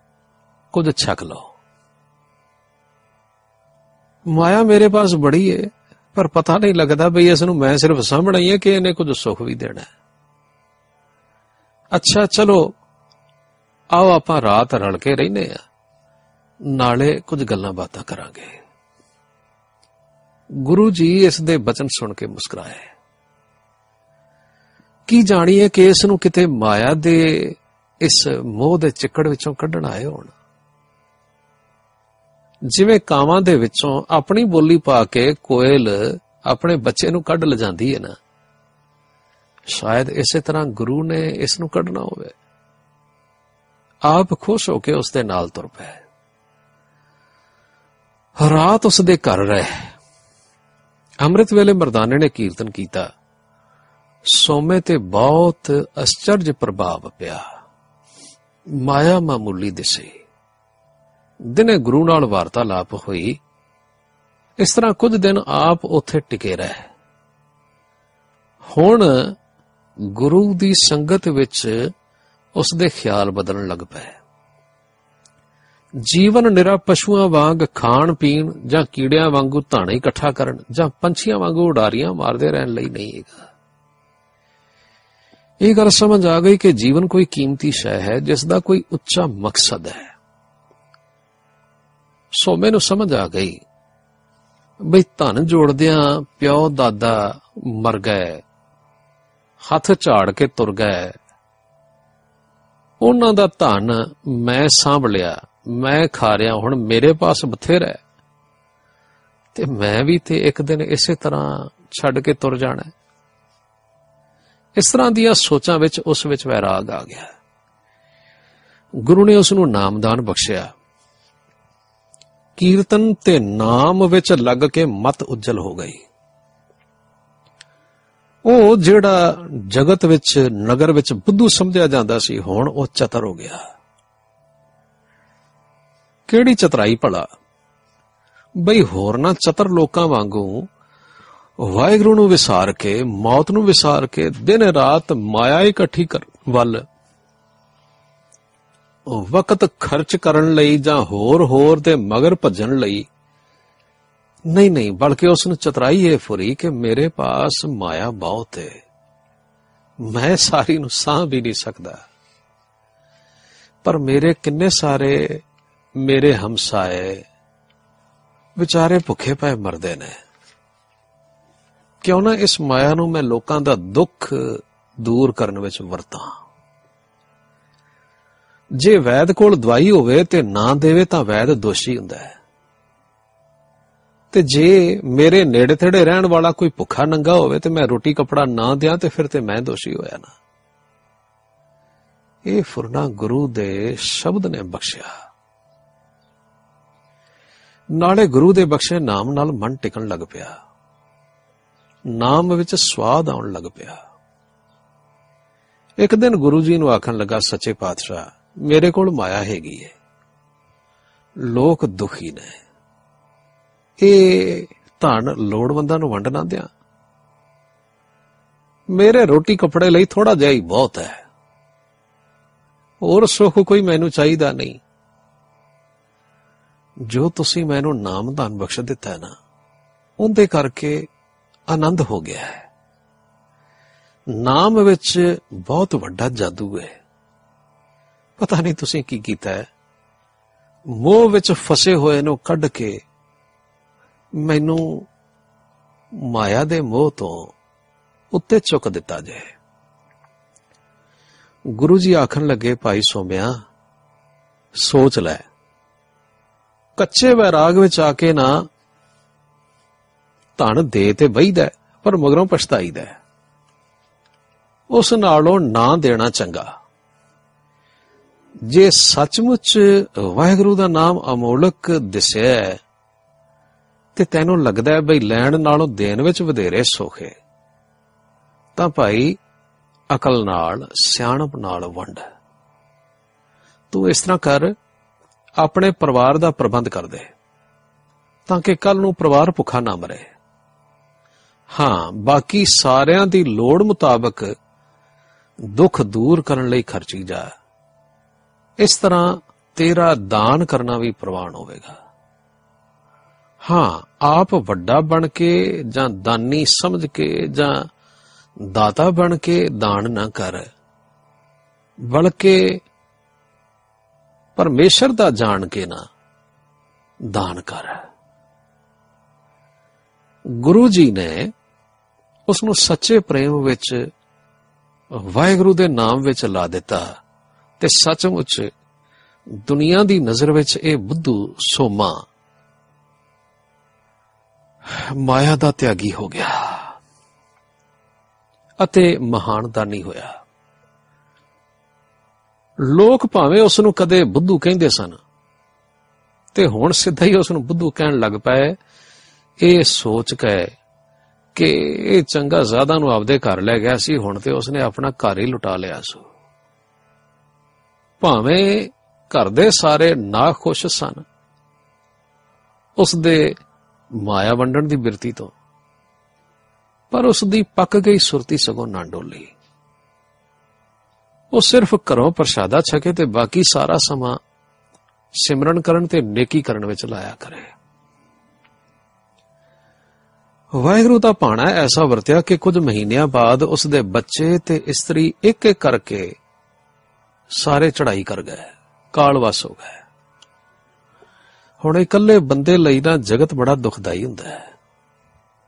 ਪਰ ਸਗੋਂ ਉਸਨੇ ਸਮਝਿਆ, ਬਈ ਨਾ ਸ਼ਾਇਦ ਵਾਹਿਗੁਰੂ ਨੇ, ਸਾਈਂ ਨੇ ਕਿਰਪਾ ਕਰਕੇ ਮੈਨੂੰ ਸਾਰਾ ਜਗਤ ਆਪਣਾ ਸਮਝਣ ਦੇ ਲਈ ਮੈਨੂੰ ਇਹ ਮੌਕਾ ਦਿੱਤਾ ਹੈ। ਜੋ ਪਦਾਰਥ ਉਸਨੇ ਆਪਣੇ ਪਰਿਵਾਰ ਲਈ ਰੱਖਿਆ ਸੀ, ਸਗੋਂ ਹੁਣ ਆਪ ਉਹ ਸਾਰਾ ਵੀ ਉਸਨੇ ਖਰਚ ਦਿੱਤਾ, ਸੇਵਾ ਵਿੱਚ ਲਾ ਦਿੱਤਾ ਤੇ ਆਪ ਸਗੋਂ ਨਿਮਾਣਾ ਜਿਹਾ ਹੋ ਕੇ ਨਾ ਥੋੜੀ ਜਿਹੀ ਮਾਇਆ ਕਮਾਉਣ ਦੇ ਲਈ ਦਿਹਾੜੀ ਕਰਨ ਲੱਗ ਪਿਆ। ਸੰਤ ਬਿਮਲਾ ਸਿੰਘ ਜੀ ਗੁਰੂ ਦਾ ਜਸ ਗਾਉਂਦਿਆਂ ਅੱਜ ਗੁਰੂ ਦੇ ਇੱਕ ਪੁੱਗੇ ਹੋਏ ਸਿੱਖ ਭਾਈ ਸੋਮੇ ਸ਼ਾਹ ਦੀ ਵਾਰਤਾ ਸੁਣਾ ਰਹੇ ਸਨ। ਸੋਮਾ ਸ਼ਾਹ ਜਿਸ ਦੇ ਮਨ ਵਿੱਚ ਵੈਰਾਗ ਪੈਦਾ ਹੋ ਗਿਆ, ਜਿਹੜਾ ਹੈ ਤੇ ਸੱਚਮੁੱਚ ਦਾ ਸ਼ਾਹ ਸੀ। ਭਾਵ ਲੱਖਾਂ ਦਾ ਮਾਲਕ ਸੀ। ਪਰ ਜਿਸ ਵੇਲੇ ਵੈਰਾਗ ਹਿਰਦੇ ਵਿੱਚ ਪੈਦਾ ਹੋਇਆ, ਤਾਂ ਜਗਤ ਦਾ ਦੁੱਖ ਵੇਖ ਕੇ ਗਰੀਬਾਂ ਦੀ ਗਰੀਬੀ ਦੂਰ ਕਰਨ ਦੇ ਲਈ ਤੇ ਗਰੀਬਾਂ ਨੂੰ ਰੋਟੀ ਕਪੜਾ ਪਹੁੰਚਾਉਣ ਦੇ ਲਈ ਉਸਨੇ ਆਪਣਾ ਸਾਰਾ ਧਨ ਖਰਚ ਦਿੱਤਾ। ਤੇ ਮਨ ਵਿੱਚ ਵਿਚਾਰਿਆ ਕਿ ਮੇਰੀ ਲੋੜ ਤੇ ਸਿਰਫ ਦਿਹਾੜੀ ਦੇ 4 ਟਕੇ ਹੀ ਹੈ। ਸੋ ਉਸਨੇ ਇਹ 4 ਟਕੇ ਵੀ ਆਪਣੇ ਕੋਲ ਰੱਖਣ ਦੀ ਬਜਾਏ ਰੋਜ਼ ਕਮਾਉਣ ਦੇ ਲਈ ਮਜ਼ਦੂਰੀ ਕਰਨੀ ਪ੍ਰਾਰੰਭ ਕਰ ਦਿੱਤੀ। 4 ਟਕੇ ਰੋਜ਼ ਦਾ ਆਪਣਾ ਖਰਚ ਰੱਖ ਲਿਆ ਤੇ ਮਜ਼ਦੂਰੀ ਦੇ 4 ਟਕੇ ਹੀ ਲੈਣੇ ਕੀਤੇ। ਜਿਸ ਕਿਸੇ ਨੇ ਮਜ਼ਦੂਰੀ ਕਰਵਾਉਣ ਲਈ ਆਖਣਾ ਭਾਈ ਸੋਮੇ ਸ਼ਾਹ ਨੇ ਕਹਿਣਾ, ਭਾਈ, ਮੈਂ ਤੇ ਚਾਰ ਟਕੇ ਹੀ ਲੈਣੇ ਨੇ ਤੇ ਮਜ਼ਦੂਰੀ ਕਰਨੀ ਹੈ। ਇਹ ਚਾਰ ਟਕੇ ਮੇਰੀ ਚਾਰ ਘੜੀਆਂ ਦੀ ਮਜ਼ਦੂਰੀ ਦਾ ਮੁੱਲ ਹੈ। ਹਾਂ, ਇਸ ਤੋਂ ਵੱਧ ਤੂੰ ਭਾਵੇਂ ਚਾਰ ਪੈਰ ਮੇਰੇ ਕੋਲੋਂ ਮਜ਼ਦੂਰੀ ਕਰਵਾ ਲੈ, ਪਰ ਮੇਰੀ ਮਜ਼ਦੂਰੀ 4 ਟਕੇ ਹੀ ਰਹੇਗੀ ਸ਼ਰਤ ਜ਼ਰੂਰੀ ਇਹ ਹੈ ਕਿ ਜੇ ਤੂੰ 4 ਟਕੇ ਮਜ਼ਦੂਰੀ ਮੈਨੂੰ ਲੈ ਕੇ ਮੇਰੇ ਕੋਲ ਕੰਮ ਕਰਵਾਉਣਾ ਚਾਹਵੇਂ, ਤਾਂ ਹਰ ਹਾਲ ਤੈਨੂੰ ਇੱਕ ਘੜੀ ਬਹਿ ਕੇ ਜਾਂ ਤਾਂ ਵਾਹਿਗੁਰੂ ਦਾ ਜਸ ਮੈਨੂੰ ਸੁਣਾਵੇਂਗਾ ਤੇ ਜੇ ਤੈਨੂੰ ਨਹੀਂ ਆਉਂਦਾ ਤਾਂ ਮੇਰੇ ਕੋਲੋਂ ਸੁਣਿਆ ਕਰੇਗਾ। ਇਹ ਅਨੋਖੀ ਮਜ਼ਦੂਰੀ ਦੁਨੀਆ ਵਿੱਚ ਨਾ ਚੱਲ ਪਈ।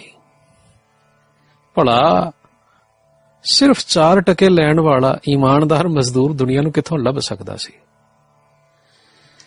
ਪਰ ਇਸ ਬਹਾਨੇ ਭਾਈ ਸੋਮਾ ਸ਼ਾ ਆਪਣੇ ਸਤਸੰਗ ਦੇ ਰਾਹ ਤੇ ਲੋਕਾਂ ਨੂੰ ਪਾਉਣ ਲੱਗ ਪਿਆ।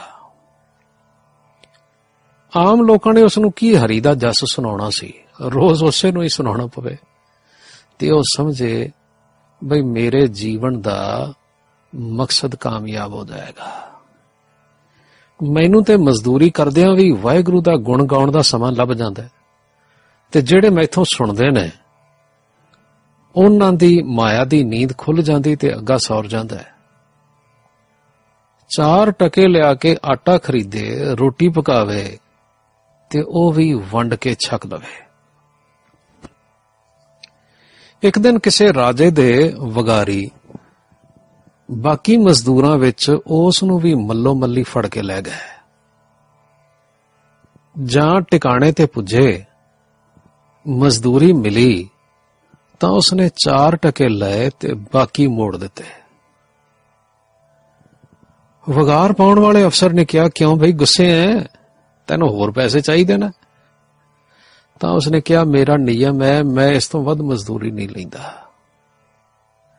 ਵੱਧ ਦੀ ਮੈਨੂੰ ਲੋੜ ਨਹੀਂ। ਭਾਵੇਂ ਮੈਂ ਚਾਰ ਘੜੀ ਮਜ਼ਦੂਰੀ ਕਰਾਂ ਜਾਂ ਚਾਰ ਪੈਰ। ਪਰ ਮੇਰੀ ਸ਼ਰਤ ਇਹ ਆ ਬਈ ਮੈਥੋਂ ਕੰਮ ਕਰਵਾਉਣ ਵਾਲਾ ਬੰਦਾ ਇੱਕ ਘੜੀ ਮੈਥੋਂ ਰੱਬ ਦਾ ਜਸ ਸੁਣੇ ਜਾਂ ਸੁਣਾਵੇ। ਸੋ ਅੱਜ ਇਹ ਗੱਲ ਪੁੱਗੀ ਨਹੀਂ। ਕਿਉਂਕਿ ਤੁਸੀਂ ਮਜ਼ਦੂਰ ਤੋਂ ਮਜ਼ਦੂਰੀ ਦਾ ਕੰਮ ਨਹੀਂ ਲਿਆ ਸਗੋਂ ਵਗਾਰ ਪਾਈ ਹੈ ਇਸ ਕਰਕੇ ਮੈਂ ਤੈਨੂੰ ਇਨਕਾਰ ਤੇ ਨਹੀਂ ਸਕ ਕਰ ਸਕਦਾ ਕੰਮ ਕਰਨ ਤੋਂ। ਪਰ ਮੈਨੂੰ ਇਸ ਤੋਂ ਵੱਧ ਮਜ਼ਦੂਰੀ ਨਹੀਂ ਚਾਹੀਦੀ। ਪਰਮੇਸ਼ਰ ਤੇਰਾ ਭਲਾ ਕਰੇ। ਅਫਸਰ ਸੁਣ ਕੇ ਹੈਰਾਨ ਰਹਿ ਗਿਆ। ਆਖਣ ਲੱਗਾ, ਓਏ ਤੂੰ ਤੇ ਕੋਈ ਖੁਦਾ ਦਾ ਫਕੀਰ ਹੈ ਮੇਰੀ ਖਤਾ ਮਾਫ ਕਰ ਦੇ। ਮੇਰੇ ਨੌਕਰ ਨੇ ਭੁੱਲ ਕੀਤੀ ਕਿ ਤੇਰੇ ਵਰਗੇ ਬੰਦੇ ਨੂੰ ਫੜ ਲਿਆ ਸੋਮੇ ਨੇ ਆਖਿਆ, ਨਹੀਂ, ਮੈਂ ਮਜ਼ਦੂਰੀ ਤੇ ਕਰਨੀ ਹੀ ਸੀ। ਭਾਵੇਂ ਵਗਾਰ ਦੀ ਜਾਂ ਖੁਸ਼ੀ ਦੀ, ਇਸ ਗੱਲ ਦਾ ਤਾਂ ਕੋਈ ਰੋਸ ਨਹੀਂ। ਪਰ ਅੱਜ ਰੋਸ ਇਸ ਗੱਲ ਦਾ ਹੈ ਕਿ ਸਤਸੰਗ ਦੀ ਘੜੀ ਨਹੀਂ ਲੱਭੀ। ਜੇ ਤੈਨੂੰ ਮੇਰੀ ਫਕੀਰੀ ਤੇ ਤਰਸ ਆਇਆ ਹੈ, ਤੇ ਮੇਰੀ ਵਗਾਰ ਇੱਕ ਗਲਤੀ ਸਮਝੀਏ। ਭਾਵ ਮੇਰੇ ਕੋਲੋਂ ਜਬਰੀ ਕੰਮ ਕਰਵਾਉਣਾ ਤੂੰ ਇੱਕ ਗਲਤੀ ਮੰਨਦਾ ਹੈ। ਤਾਂ ਮੈਂ ਤੇਰੀ ਗਲਤੀ ਮਾਫ ਕੀਤੀ। ਪਰ ਤਾਂ ਜੇ ਇੱਕ ਘੜੀ ਮੇਰੇ ਨਾਲ ਸਤਸੰਗ ਕਰ ਲਵੇਂ ਤਾਂ ਇਸ ਅਚਰਜ ਕਿਸਮ ਦੀ ਮੰਗ ਵੇਖ ਕੇ ਅਮੀਰ ਬੜਾ ਹੈਰਾਨ ਹੋਇਆ ਤੇ ਆਖਣ ਲੱਗਾ, ਅੱਛਾ, ਸਾਈਂ ਲੋਕਾ, ਨਾਲੇ ਦੋ ਦੋ ਤੇ ਨਾਲੇ ਚੋਪੜੀਆਂ ਦੇ ਨੇ ਚੱਲ ਫਿਰ ਮਿਹਰ ਕਰ ਤੇ ਸੁਣਾ ਕੋਈ ਅੱਲਾਹ ਤਾਲਾ ਦੀ ਗੱਲ ਭਾਵੇਂ ਮੈਂ ਗੁਨਾਹਗਾਰ ਹਾਂ, ਪਰ ਅੱਲਾ ਤੇ ਯਕੀਨ ਤੇ ਹੈ ਹੀ ਨਾ। ਇਹ ਸੁਣ ਕੇ ਉਹ ਬਹਿ ਗਏ ਤੇ ਵਾਰਤਾਲਾਪ ਕਰਨ ਲੱਗੇ। ਜਿਸ ਦਾ ਫਲ ਇਹ ਹੋਇਆ ਕਿ ਅਮੀਰ ਬੰਦੇ ਦੇ ਮਨ ਵਿੱਚ ਵਾਹਿਗੁਰੂ ਦੇ ਨਾਮ ਦੀ ਮਹਿਮਾ ਬਹਿ ਗਈ ਤੇ ਉਹ ਲੱਗ ਪਿਆ ਵਾਹਿਗੁਰੂ ਦੀ ਪਿਆਰ ਭਰੀ ਯਾਦ ਵਿੱਚ। ਇਸ ਤਰ੍ਹਾਂ ਇਸ ਗੁਰੂ ਨਾਨਕ ਦੇ ਸਾਜੇ ਸਾਧੂ ਨੇ ਆਪਣੇ ਡੁੱਲਦੇ ਹੋਏ ਪਿਆਰ ਦੇ ਚਾਹ ਵਿੱਚ ਕਈ ਲੋਕ ਗਫਲਤ ਦੀ ਨੀਂਦ ਤੋਂ ਜਗਾ ਦਿੱਤੇ ਤੇ ਰੱਬ ਦੇ ਰਾਹ ਪਾਏ। ਅਨੇਕਾਂ ਦੇ ਐਬ ਛੁਡਾ ਦਿੱਤੇ। ਇੱਕ ਵਾਰ ਇਹਨਾਂ ਦੇ ਨਗਰ ਉਹ ਆਦਮੀ ਆਇਆ ਜੋ ਉਸ ਇਲਾਕੇ ਦੀਆਂ ਜ਼ਮੀਨਾਂ ਦਾ ਟੈਕਸ ਇਕੱਠਾ ਕਰਕੇ ਸਰਕਾਰੇ ਦਰਬਾਰੇ ਪਹੁੰਚਾਉਂਦਾ ਸੀ। ਕੁਝ ਦਿਨ ਉਸ ਨੂੰ ਉੱਥੇ ਆਇਆ ਹੋ ਗਏ ਸਨ ਕਿ ਉਸ ਨੂੰ ਘਰੋਂ ਸੁਨੇਹਾ ਆਇਆ ਕਿ ਜਲਦੀ ਘਰ ਆਓ, ਜ਼ਰੂਰੀ ਕੰਮ ਹੈ। ਉਸ ਦਾ ਘਰ ਉੱਥੋਂ ਕੋਈ 14-15 ਕੋਹਾਂ ਦੀ ਦੂਰੀ ਤੇ ਸੀ। ਇਸ ਲਈ ਪਹਾੜ ਚੁੱਕ ਕੇ ਨਾਲ ਲਿਜਾਣ ਵਾਲੇ ਇੱਕ ਕੁੱਲੀ ਦੀ ਲੋੜ ਸੀ। ਸੋ, ਇਸ ਇਲਾਕੇ ਦੇ ਸਰਪੰਚ ਨੇ ਸੋਮੇ ਸ਼ਾਹ ਨੂੰ ਚਾਰ ਟਕੇ ਦੇਣੇ ਕਰਕੇ ਉਸ ਅਜਾਰੇਦਾਰ ਦੇ ਨਾਲ ਤੋਰ ਦਿੱਤਾ। ਰਾਹ ਵਿੱਚ ਇਸ ਸਿੱਖ ਨੇ ਕਿਹਾ, ਬਈ, ਆ ਪਿਆ ਹੀ ਤੇਰਾ ਭਾਰ ਤੇ ਮੈਂ ਹੁਣ ਅੱਗੇ ਨਹੀਂ ਜਾ ਸਕਦਾ। ਉਹ ਅਫਸਰ ਆਖਣ ਲੱਗਾ, ਨਾ ਬਈ, ਤੂੰ ਇਸ ਤਰ੍ਹਾਂ ਕਰ, ਮਜ਼ਦੂਰੀ ਹੋਰ ਲੈ ਲਈ ਤੇ ਤੁਰਿਆ ਚੱਲ ਮੇਰੇ ਨਾਲ। ਭਾਈ ਸੋਮੇ ਨੇ ਕਿਹਾ, ਟਕੇ ਦੀ ਤੇ ਲੋੜ ਨਹੀਂ, ਪਰ ਮੈਂ ਅੱਗੇ ਤਾਂ ਚੱਲਾਂਗਾ ਜੇ ਤੂੰ ਰੱਬ ਦੀਆਂ ਗੱਲਾਂ ਕਰਦਾ ਚੱਲੇ ਜਾਂ ਸੁਣਦਾ ਚੱਲੇ। ਮੈਥੋਂ ਭੁੱਲ ਇਹ ਹੋਈ ਕਿ ਮੈਂ ਤੁਰਨ ਵੇਲੇ ਇਹ ਗੱਲ ਖਰੀ ਨਹੀਂ ਕੀਤੀ ਤੇ ਹੁਣ ਮੇਰਾ ਜੀ ਕਾਹਲਾ ਪੈਂਦਾ ਹੈ ਬਈ ਮੈਂ ਆਪਣਾ ਨਿਯਮ ਕਿਉਂ ਭੰਗ ਕੀਤਾ?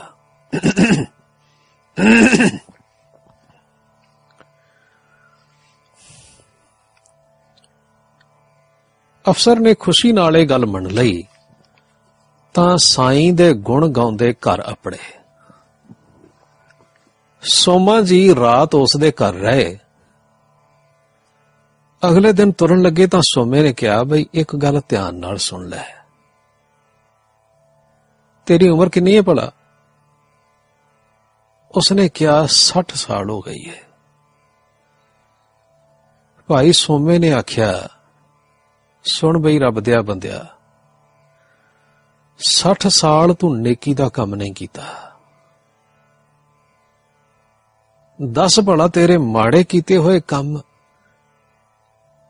ਤੈਨੂੰ ਦੁਖੀ ਨਹੀਂ ਕਰਨਗੇ? ਤੂੰ ਰੱਬ ਨਾਲ ਪਿਆਰ ਨਹੀਂ ਕੀਤਾ, ਨਾਮ ਨਹੀਂ ਜਪਿਆ, ਸਿਫਤੋ ਸਲਾਹ ਨਹੀਂ ਕੀਤੀ, ਸੇਵਾ ਨਹੀਂ ਕੀਤੀ।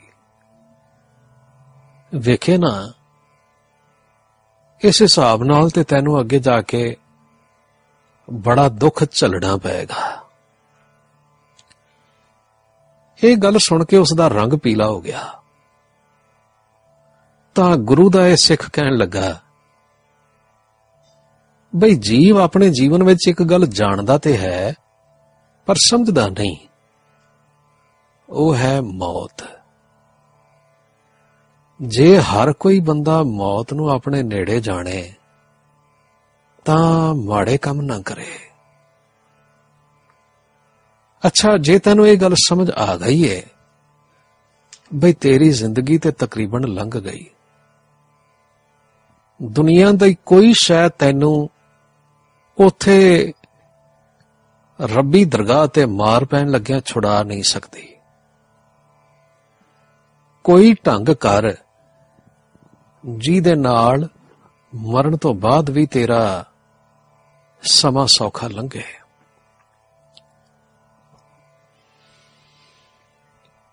ਇਸ ਅਫਸਰ ਨੇ ਫਿਰ ਆਖਿਆ, ਭਾਈ, ਮੈਂ ਤੇ ਨਹੀਂ ਜਾਣਦਾ ਕਿ ਮੈਂ ਮਰਨ ਤੋਂ ਬਾਅਦ ਮੈਂ ਦੁੱਖਾਂ ਤੋਂ ਛੁੱਟ ਸਕਾਂਗਾ। ਤੇ ਭਾਈ ਸੋਮਾ ਆਖਣ ਲੱਗਾ ਵੇਖੇ ਨਾ। ਅੱਜ ਜਦੋਂ ਆਪਾਂ ਆਉਂਦੇ ਪਏ ਸਾਂ ਨਾ, ਰਾਹ ਵਿੱਚ, ਤਾਂ ਮੈਂ ਕੁਝ ਸਮਾਂ ਤੈਨੂੰ ਰੱਬ ਦੀਆਂ ਗੱਲਾਂ ਪਿਆਰ ਨਾਲ ਸੁਣਾਈਆਂ ਸਨ। ਚੇਤੇ ਰੱਖੀ ਪਿਆਰ ਨਾਲ ਰੱਬ ਦੀ ਗੱਲ ਕਰਨ ਨਾਲ, ਰੱਬ ਦਾ ਨਾਮ ਜਪਣ ਨਾਲ, ਸਾਰੇ ਮਾੜੇ ਕਰਮ ਤੇ ਪਾਪ ਸੜ ਜਾਂਦੇ ਨੇ। ਜੇ ਤੂੰ ਇਸੇ ਤਰ੍ਹਾਂ ਰੋਜ਼ ਕਰੇ ਨਾ, ਤਾਂ ਤੇਰੇ ਸਾਰੇ ਪਾਪ ਸੜ ਜਾਣਗੇ। ਤੇ ਹਫ਼ਤੇ ਬਾਅਦ ਜਦੋਂ ਤੇਰੀ ਮੌਤ ਹੋਵੇਗੀ ਨਾ, ਉਸ ਤੋਂ ਬਾਅਦ ਤੂੰ ਬਚ ਜਾਵੇਂਗਾ। ਇਹ ਗੱਲ ਸੁਣ ਕੇ ਅਫਸਰ ਰੋਣ ਲੱਗ ਪਿਆ ਤੇ ਆਖਣ ਲੱਗਾ, ਸਾਰੀ ਜ਼ਿੰਦਗੀ ਬੁਰੇ ਕੰਮ ਕਰਦਾ ਰਿਹਾ। ਇੱਕ ਹਫ਼ਤੇ ਦਾ ਨਾਮ ਜਪਣ ਨਾਲ ਮੇਰਾ ਕੀ ਬਣੇਗਾ? ਸਿੱਖ ਆਖਣ ਲੱਗਾ, ਵੇਖੇ ਨਾ ਬਈ, ਤੂੰ ਵੱਡਾ ਕਿ ਬਖਸ਼ਣਹਾਰ ਕਰਤਾਰ? ਅਫਸਰ ਕਹਿਣ ਲੱਗਾ, ਨਹੀਂ, ਕਰਤਾਰ ਬਖਸ਼ਣਹਾਰ ਹੀ ਵੱਡਾ ਹੈ। ਸਿੱਖ ਕਹਿਣ ਲੱਗਾ, ਬਈ, ਕਰਤਾਰ ਵੱਡਾ ਹੈ ਕਿ ਤੇਰੇ ਕਰਮ? ਤੂੰ 60 ਸਾਲਾਂ ਵਿੱਚ ਵੀ ਜੇ ਸਾਰੇ ਦੇ ਸਾਰੇ ਮਾੜੇ ਕਰਮ ਹੀ ਕੀਤੇ ਹੋਣ, ਤਾਂ ਉਹ ਵੀ ਗਿਣਤੀ ਵਿੱਚ ਨੇ। ਭਾਵੇਂ ਬਹੁਤ ਹੋਣਗੇ, ਪਰ ਅਣਗਿਣਤ ਤੇ ਨਹੀਂ ਨਾ। ਪਰ ਤੈਨੂੰ ਪਤਾ ਹੈ ਕਿ ਕਰਤਾਰ, ਵਾਹਿਗੁਰੂ, ਮੇਰਾ ਖੁਦਾ, ਉਹ ਤੇ ਅਗਿਣਤ ਹੈ।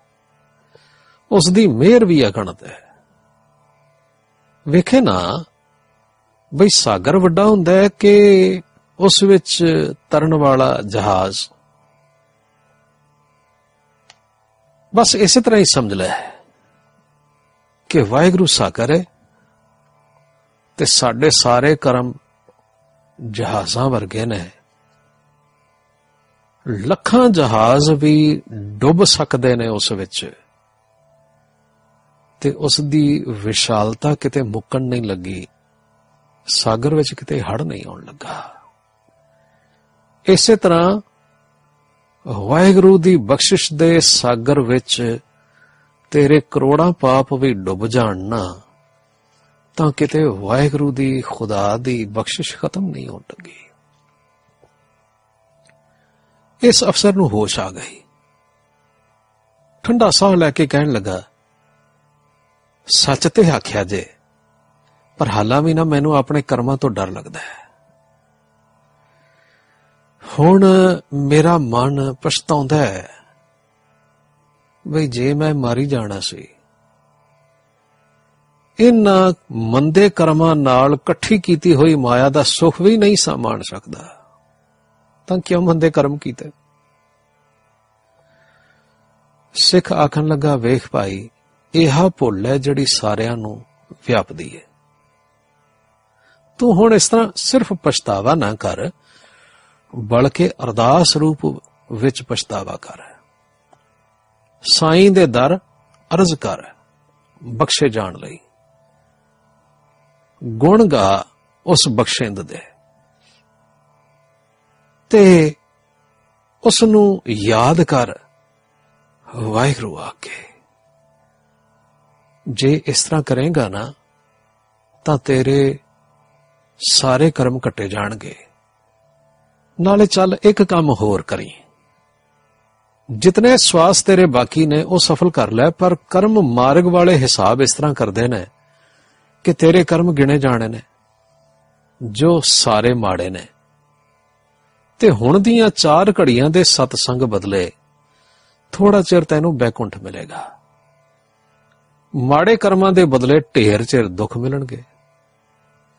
ਸੋ ਉਸੇ ਹਿਸਾਬ ਨਾਲ ਤੂੰ ਉੱਥੇ ਧਰਮਰਾਜ ਨੂੰ ਆਖੀ ਪਹਿਲੋਂ ਬੈਕੁੰਠ ਦੇ ਦਿਓ। ਭਾਵੇਂ ਚਾਰ ਘੜੀਆਂ ਹੀ ਸਹੀ। ਉੱਥੇ ਨਾ ਧਰਮਰਾਜ ਦਾ ਜ਼ੋਰ ਨਹੀਂ ਚੱਲਦਾ। ਇੱਕ ਵਾਰ ਅੰਦਰ ਵੜ ਜਾਏ, ਬਸ। ਫਿਰ ਬਾਹਰ ਆਉਣ ਦੀ ਲੋੜ ਨਹੀਂ।